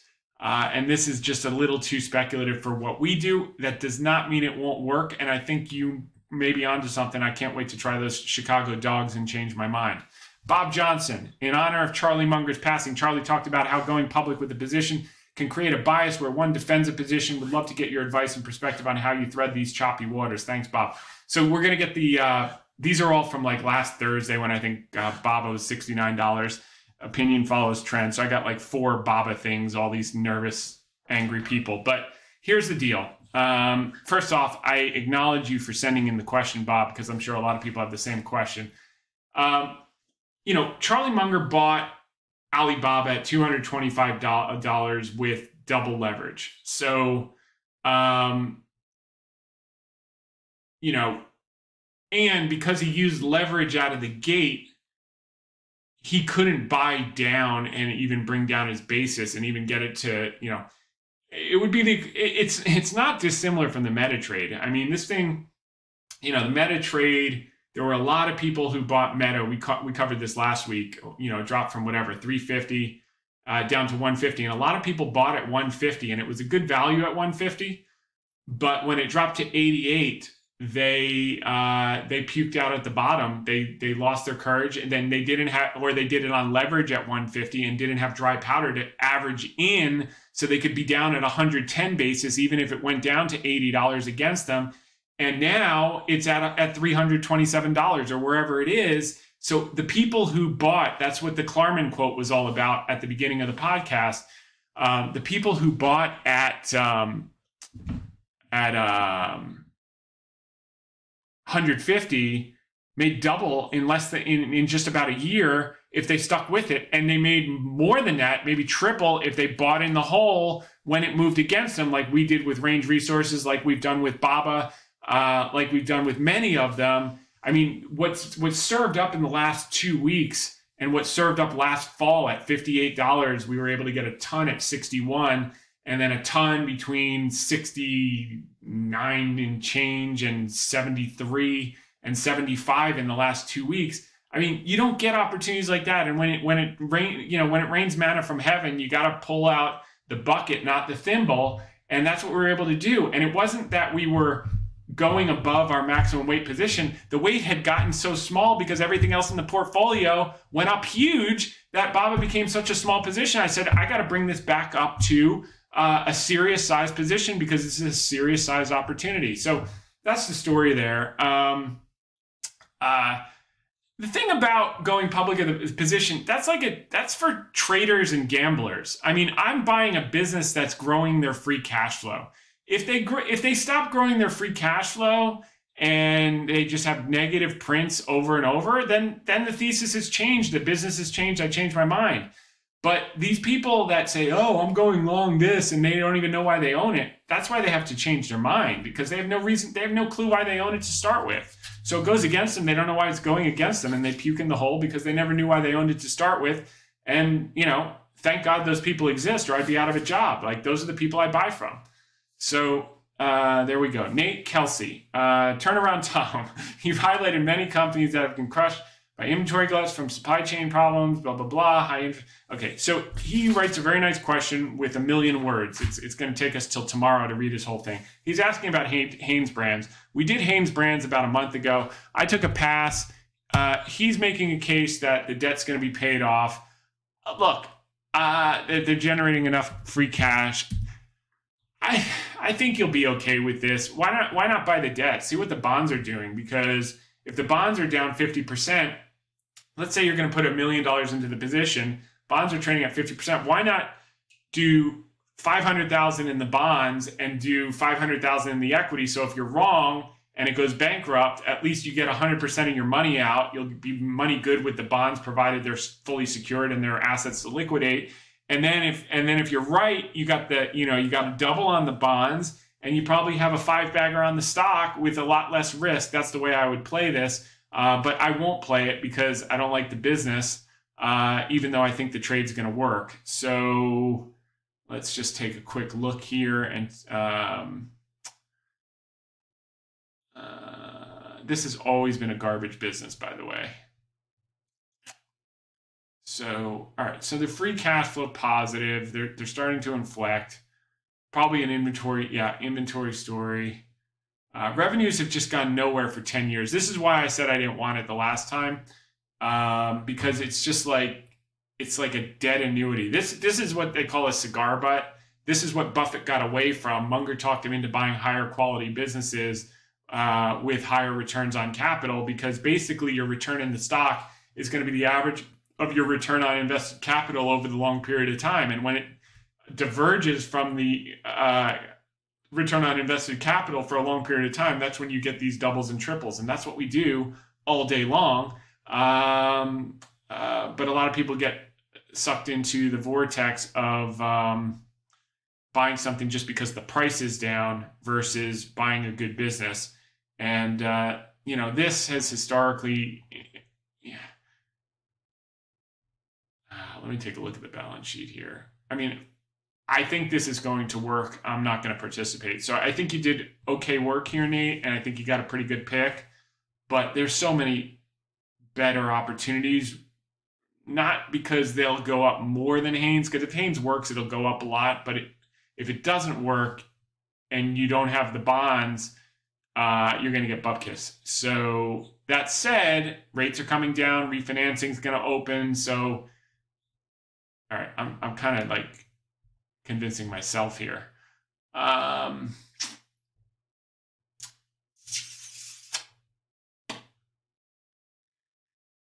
you know, a lot of this is instinct also from just seeing these things over the years through cycles. Um,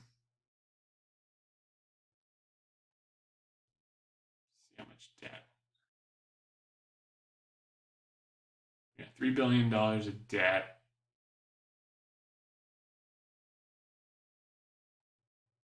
190 of cash. So you just have to see when everything matures, what's the cost of capital, what's their plan to to generate free cash flow, do they have enough to service the debt? I mean, this is all you have to get comfortable with here is whether it goes bankrupt or not. Let me see if he talked about this. Uh, rates. First debt maturity is November 2026, giving them time to refinance. Okay. Generate 450 million in free cash flow, pay down 400 reduced inventory by 600 million, sold through old inventory. Um,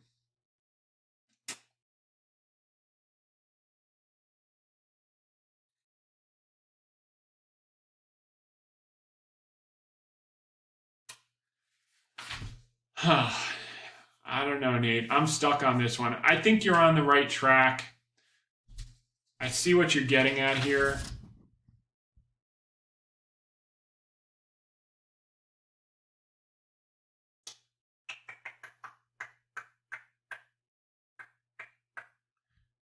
I would just here's what I would do. I I I see by your analysis you're going to wind up doing this trade, and if you are going to do this trade, what I would do is do 50% of the debt if it's trading at at least at a 40% discount to par. Um, so bet on the refinancing, and then you know if it's if it's down 40% by you know 600,000 of debt and 400,000 of stock, the stock you'll get a five bagger on, the debt you'll get you know whatever 80 to 100 percent You'll collect a little um, uh, high yield in the meantime while you wait. At least you're covered if they actually do go BK. Uh, I, I, I don't know. I mean, this one's kind of interesting. I, I, I would. It's not a good enough business where I would ever put client money in it. But like, if you're just risking with your PA, you know, maybe you take a flyer on it.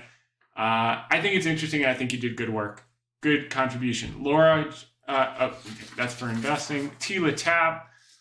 Um, two questions. I know you have a small position in ASOS. Why didn't you buy for Farfetch, currently on the brink of bankruptcy, but interesting to know why you didn't choose them? Because they had no history of return on invested capital. They were a startup. I couldn't analyze their operations through cycles. Um, ASOS had a moat through many cycles. They destroyed the moat. They brought in this suit from McKinsey to fix it. Um, I think it's a good enough business that even if he works overtime, he's not going to be able to completely destroy it. And God forbid he actually fixes it, then you got a super multi bagger. But again, he hasn't shown me anything where I want to lean in, but I've got enough that you know it'll it'll be a, a nice trade if it works. And if he does some constructive things, it might be something I lean into and own for a long time.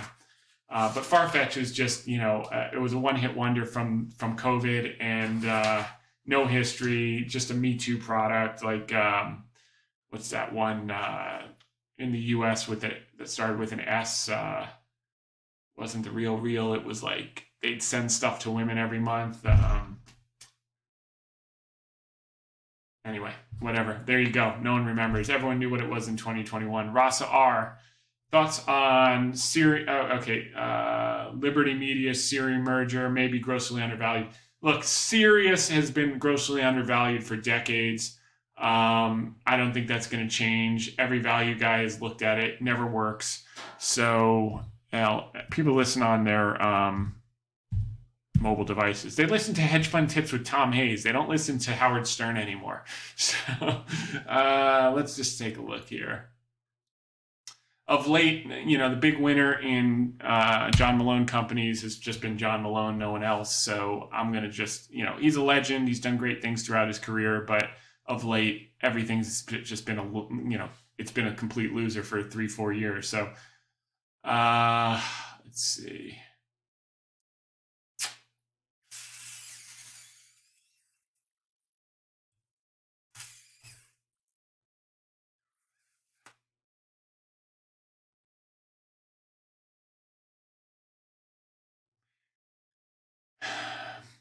Problem with this business, Rasa, and your objective analysis is correct. It's just it's been cheap forever. It's a low quality dying business, and this is a cigar cigar butt where you're trying to get the one last puff. This is not a growth business. This is not really something you want. It'll work probably for a trade. So, what is it? Uh,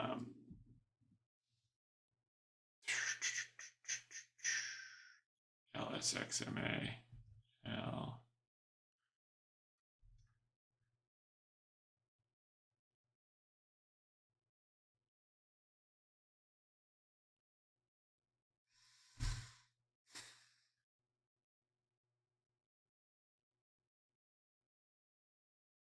Yeah, look, it's going to work higher as a trade, Rasa, more likely than not. But I just, I, I don't really want to own that business.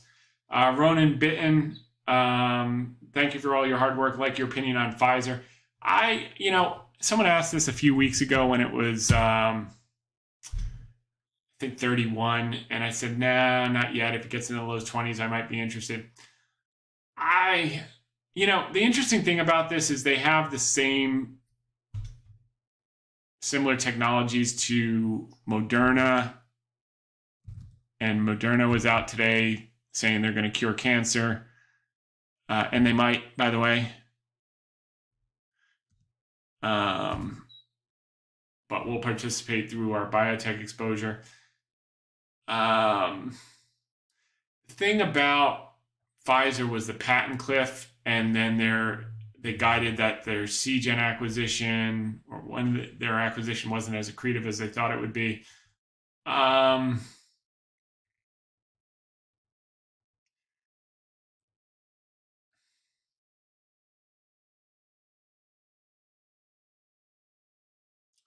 I mean, it's getting cheap enough, and the dividend is, is uh, pays you a lot while you wait. But if I recall, got a lot of deceleration before they re reaccelerate. I mean, it's um, let's see.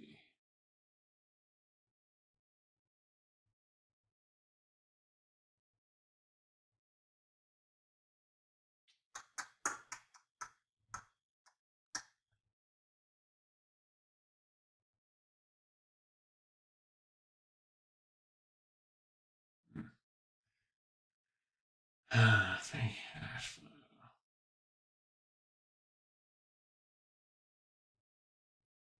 Yeah, I mean, you know, they needed that uh, oral weight loss drug. They'll probably wind up getting one, but uh, that was a hit to the stock. They need something new. They need to buy something or do something that's going to move the needle. Um, so far, they haven't. where is uh, forward expectations here.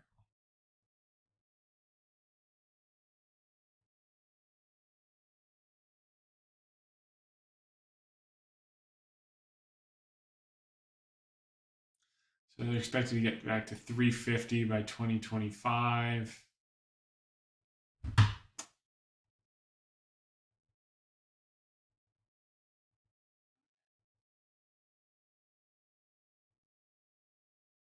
I got my eye on it. I wasn't tempted to do anything today.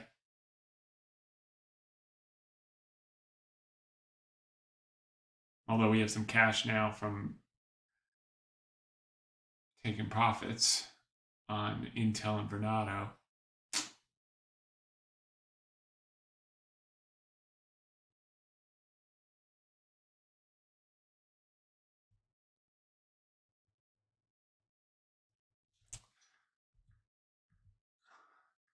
I'll, I'll tell you one thing, Ronan. I, I, mean, I think if you buy it here and you have a three to five year view, you're going to make 5% a year. Uh, and you'll probably have, I, I'd like to buy it under 25, somewhere between 20 and 25. If I can do that,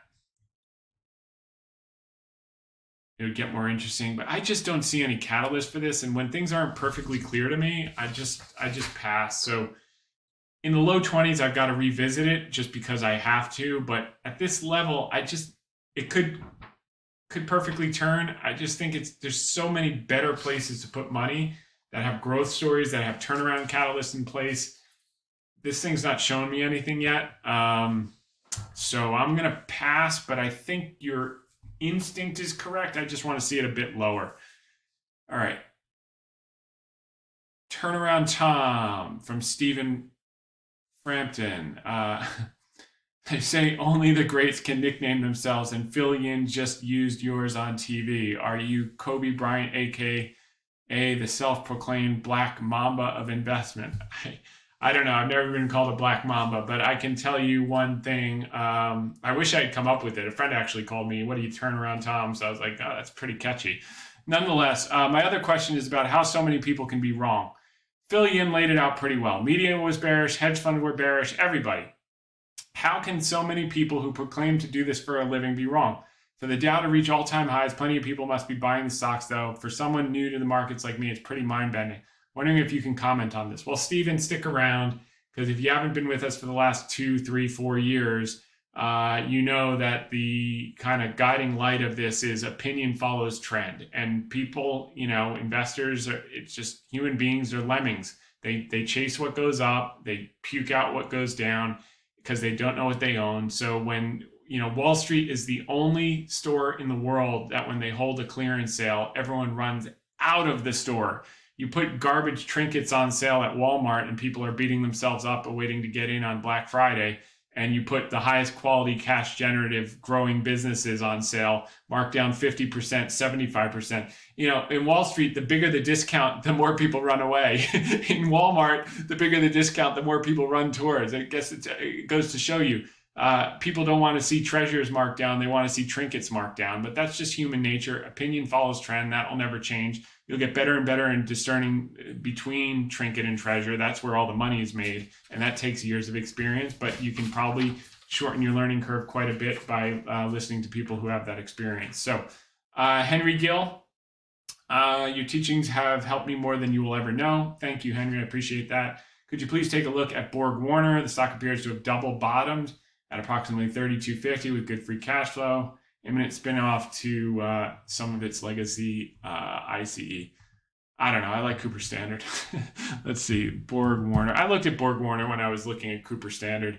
Um, you know, one's up 3x, one's up 30%. So that tells you everything you need to know about Borg Warner. Uh, uh, char- I don't buy based on chart patterns. Um, I think this is going to do fine. I, I, don't know if they do more of the uh, used car or new car. Let's just see if I pulled this, this sheet here. Yeah. Borg Warner, supplier hire for automotive powertrain application, OEMs. uh, manual automatic torque. Ford accounted for 13, Volkswagen. I think I think this one's going to be okay on the same basis as Cooper Standard, but I don't think it has the same type of leverage um, or upside. So why take a similar amount of risk? Because all you're really betting is what is industry production going to be, and who's got the most operating leverage to take advantage of it. Um,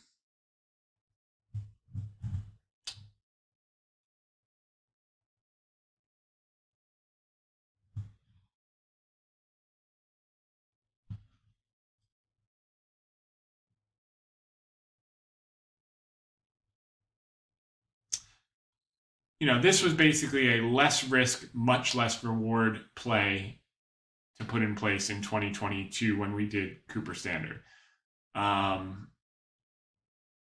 and that's not what we wanted. We wanted the Charlie Munger trade where he took 10 million, turned it into 80 million, and then put the 80 million in China, turned it into a half a billion uh, in a handful of years. Uh, that's the trade we wanted. And, um, that's what we did. So this is, this looks fine. It's kind of a snoozer. I mean, you, you probably get a double over the next three years. So that's great. I mean, I think you found a nice business at a decent price. Um, good work. John Weller have enjoyed learning your investor techniques, much happier since avoiding the speculator and swing trading approaches. Can you explain, educate a bit more when to leave a stock? Uh, exited fast at 60, but maybe regretting this. I'm still in Boeing, so it rises to 220. Been a rough ride to 180, now rising back to 240. Boeing seems like a forever hold, but very interested in your thoughts on these two companies of when to exit. You have to know when you're getting out before you get in. We knew when we were getting out of Intel on the basis of the PC business, uh, and we've even talked about it, uh, and then what we would hold for the flyer business of the Manana Foundry AI Change the World business. So we kept a little on for that. Same thing with uh, Vornado. We got in at a 60% discount to book and we sold at book. So, yeah, it'll trade above book. Uh, the pendulum swings uh, aggressive on both sides. But you know, you also have IRR, and uh, we got that return in such a short period of time, and the options juiced the return so much that uh, we just didn't want to be pigs. We wanted to find other things that could triple in such a short period of time. So, um, double and triple in case of the options. So, um,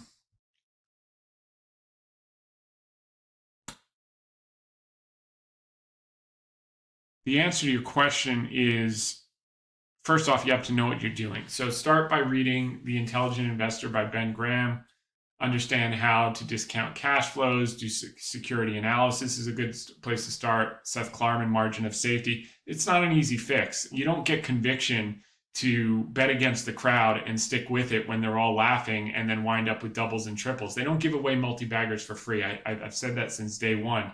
If you don't do your work, I mean, I know the businesses I own. I know what I would be willing to pay and what they would garner in the par- in the private markets. That's why I love public markets so much because the private markets would never offer up the prices that the public market that is is based on irrational exuberance and uh, depressed despondency from time to time uh, the prices that they'll trade these same assets where the cash flows are relatively steady on a, on a predefined growth trend for the type of high quality moated businesses that we buy. So as far as Fastenal, um, you know, if you don't if you don't know where fair value is before you get in based on your analysis, of the discounted cash flow, of the earnings growth, of the cash flow growth, of the multiple, uh, and you're just buying on the basis of momentum, I would not even invest. I would either outsource to someone who knows what they're doing or spend three years and learn learn to do what you're doing. Um, that's not a two minute ask me anything answer, but there's not one company we buy that we don't know where we're exiting. And the only thing that will change that is if the fundamentals get dramatically better than what we expected when we got in. And that's few and far between. Usually, the fundamentals didn't get that bad for the price to go down 65%, and they don't get that much better for the price to go up double. If you look at the Microsoft example, where the thing traded sideways uh, from uh, for seven years, Ballmer's cash flow growth was actually greater in percentage terms when the stock did zero over seven years than when uh, Satya did for the next seven years, and the stock was up 1,500%. So it's a coiled spring, and sooner in the short term, things trade on emotion. In the long term, they trade on fundamentals. As far as Boeing being a hold forever, Boeing is not a hold forever. Boeing's a cyclical business, okay? And we we're just coming out of the cycle. Probably works its way higher, but uh, uh, and maybe back up to all time highs. But uh, this is probably not one I would hold forever. Uh, they do have a duopoly, so there is a sense of moat, but you have that China provider coming on. Uh, but I, you know, look, I, I think this is going to work higher, but this is not a buy and hold forever. This is not a super high quality. It just happens to be a duopoly, so it works through cycles if you buy in the down cycle like 2020 or you got another bite at the apple last year when everyone was just selling everything for no reason. Um, and those are the times to buy it. But those are trades just like Vornado is a trade. Vornado's not a hold forever. Intel's not a hold forever although this last piece might be a hold for some time if they get it right uh, but you know um, that's that so that's that Jao Viegas, great content as always. Keep it coming. Beauty of an auction driven market is emotions play an important role and people overreact to the upside, more importantly, the downside. Bob is clearly the latter. By the way, any thoughts on a value play on Paramount? We did Paramount a couple weeks ago. We said it was a trade. I'm not going to do it again. It's a trade based on being sold. Um, the balance sheet is garbage, but as rates come down, it's better. There is value there. Uh, so it's doubled since then not doubled. It's up 50%. Probably goes up a little more. I don't see anyone paying more than 25 or $30 for this, but I'm welcome to be proven wrong. And if they hold it, then maybe over the next five or 10 years, if they can refinance the debt, this thing can work its way back up to 50 or 60. Um, so I would say it's a trade. It's not a great business. And then it's a trade that'll probably work. Julian Glock. Um, Okay, wanted to ask whether Alibaba, remember all the Alibaba questions that came in last week when everyone was despondent. I want to ask whether Alibaba is really compatible to U.S. Western stocks. Can we apply the same rules for this company as the fantastic fundamentals valuations don't seem to matter much, unfortunately? Is the growth um, is the growth of any worth? The stock not taking off due to Chinese political and economic issues. As long as those issues are prevalent, Baba seems not to move up properly. American companies don't come with the baggage, therefore, the, isn't the risk higher? Yeah, if you believe that. But if you actually believe you're buying a high quality asset when it's out of favor, uh, you tune out the noise. And you got the same noise going now with the CCP and all this BS and capital flight that you had when institutions were fleeing right here in 2015 and 16. I showed you on my cell phone. It's on my Twitter account at Hedge Fund Tips. Uh, where the hell is this thing? All right. There. Same outflows. This is the result stock was here, same nonsense that you're talking about. And next thing you know, the thing was up from 60 or 70 dollars up to 300 dollars first to 200 then it checked back take out the wheat sisters then up to 300 dollars and uh, the fundamentals are much better this time so something will change when when everyone least expect it it'll start running up no one will believe it everyone will crowd in uh, the talking heads will be all over it at $250. They won't be able to get enough. This is the great growth story. China is back, blah, blah, blah. And that's when we will be laying off to never be again ever in China because they're going to hit a demographic cliff in about four to five years ago, four to five years from now, and they're going to be the next Japan and they're absolutely toast. But between now and then, with the large part of their population at 34, the next three to five to six years is going to be a beast of a growth. And as much as Xi tries full time to destroy that, he won't be able to because there's tailwinds. They're just coming out of what was a complete heart attack. And the, the marathoner can't run the marathon two weeks after the heart attack. They opened the country 11 months ago.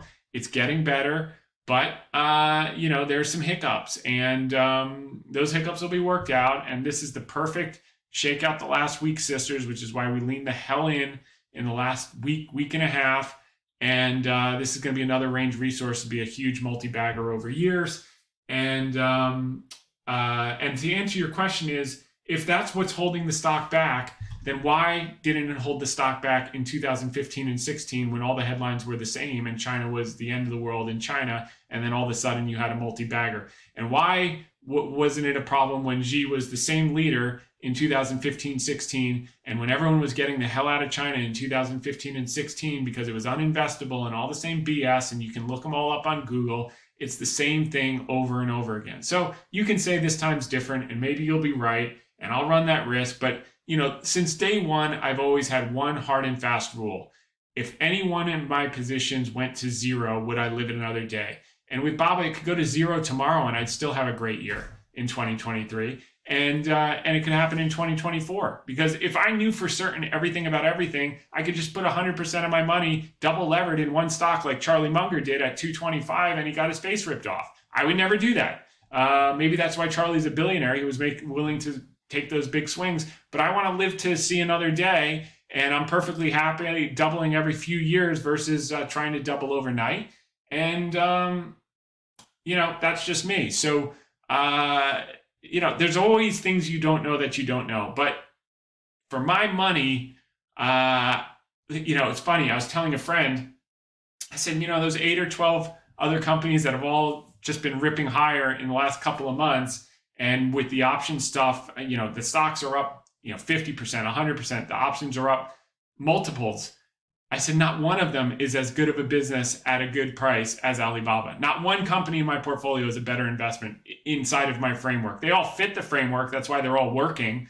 But um, Baba is a hundred times better business at a hundred times better price. So I just wait patiently while everyone, you know, types up all this stuff and gets all upset and emotional. I, you know, I just wait, and uh, as everything else goes up, I get more money. And when Baba pukes out to 65, I'll buy more. Uh, maybe it won't, but um, uh, and then all of a sudden it's going to be 150, and then it's going to be 200, and we're going to say, "Oh, Tom, you were so smart." No, I wasn't so smart. I just bought a great business at a good price. I knew what I owned. I already know where I'm getting out before I get in, uh, and uh, that's that. And you know, um, the guys who bought Meta at 150 and puked it out at 80 when they would have had a double by now, even if they didn't buy more down at 80, which they should have, and then they would have had a hundred hundred dollars or a hundred and five dollar basis, and then they'd have a triple now that it's at 327. I can't help those people because they didn't know why they bought it, so they didn't know why they sold it. And if anything that I'm trying to teach you is helpful, uh, is how to understand what you own and once you own high quality, which is why we don't go for these businesses that have two years of financials. How the hell can you know what you own? You haven't seen it operate through through cycles. It could be a leveraged model that works like crazy when money's free, and then you hit one hiccup, and the guy goes over the handlebars down the hill, and he's toast. All his front teeth are out, his nose is disjointed. He's never going to recover.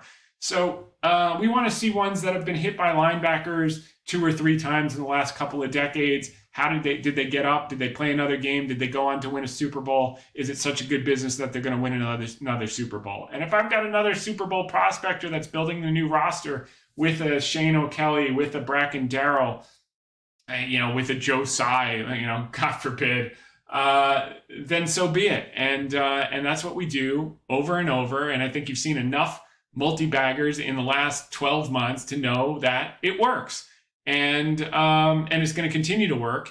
And if you think the seeds that we planted in 2022 uh, blossoming in 2023 have been amazing, wait till you see the seeds that we planted in 2023 how they blossom in 2024. So with that said, uh, we'll be back next week, but uh, same time, same place. For those of you celebrating holidays right now, happy holidays. For those of you who have them coming, Merry Christmas. Uh, but we'll see you before then. And in the meantime, make it a great one. Bye for now.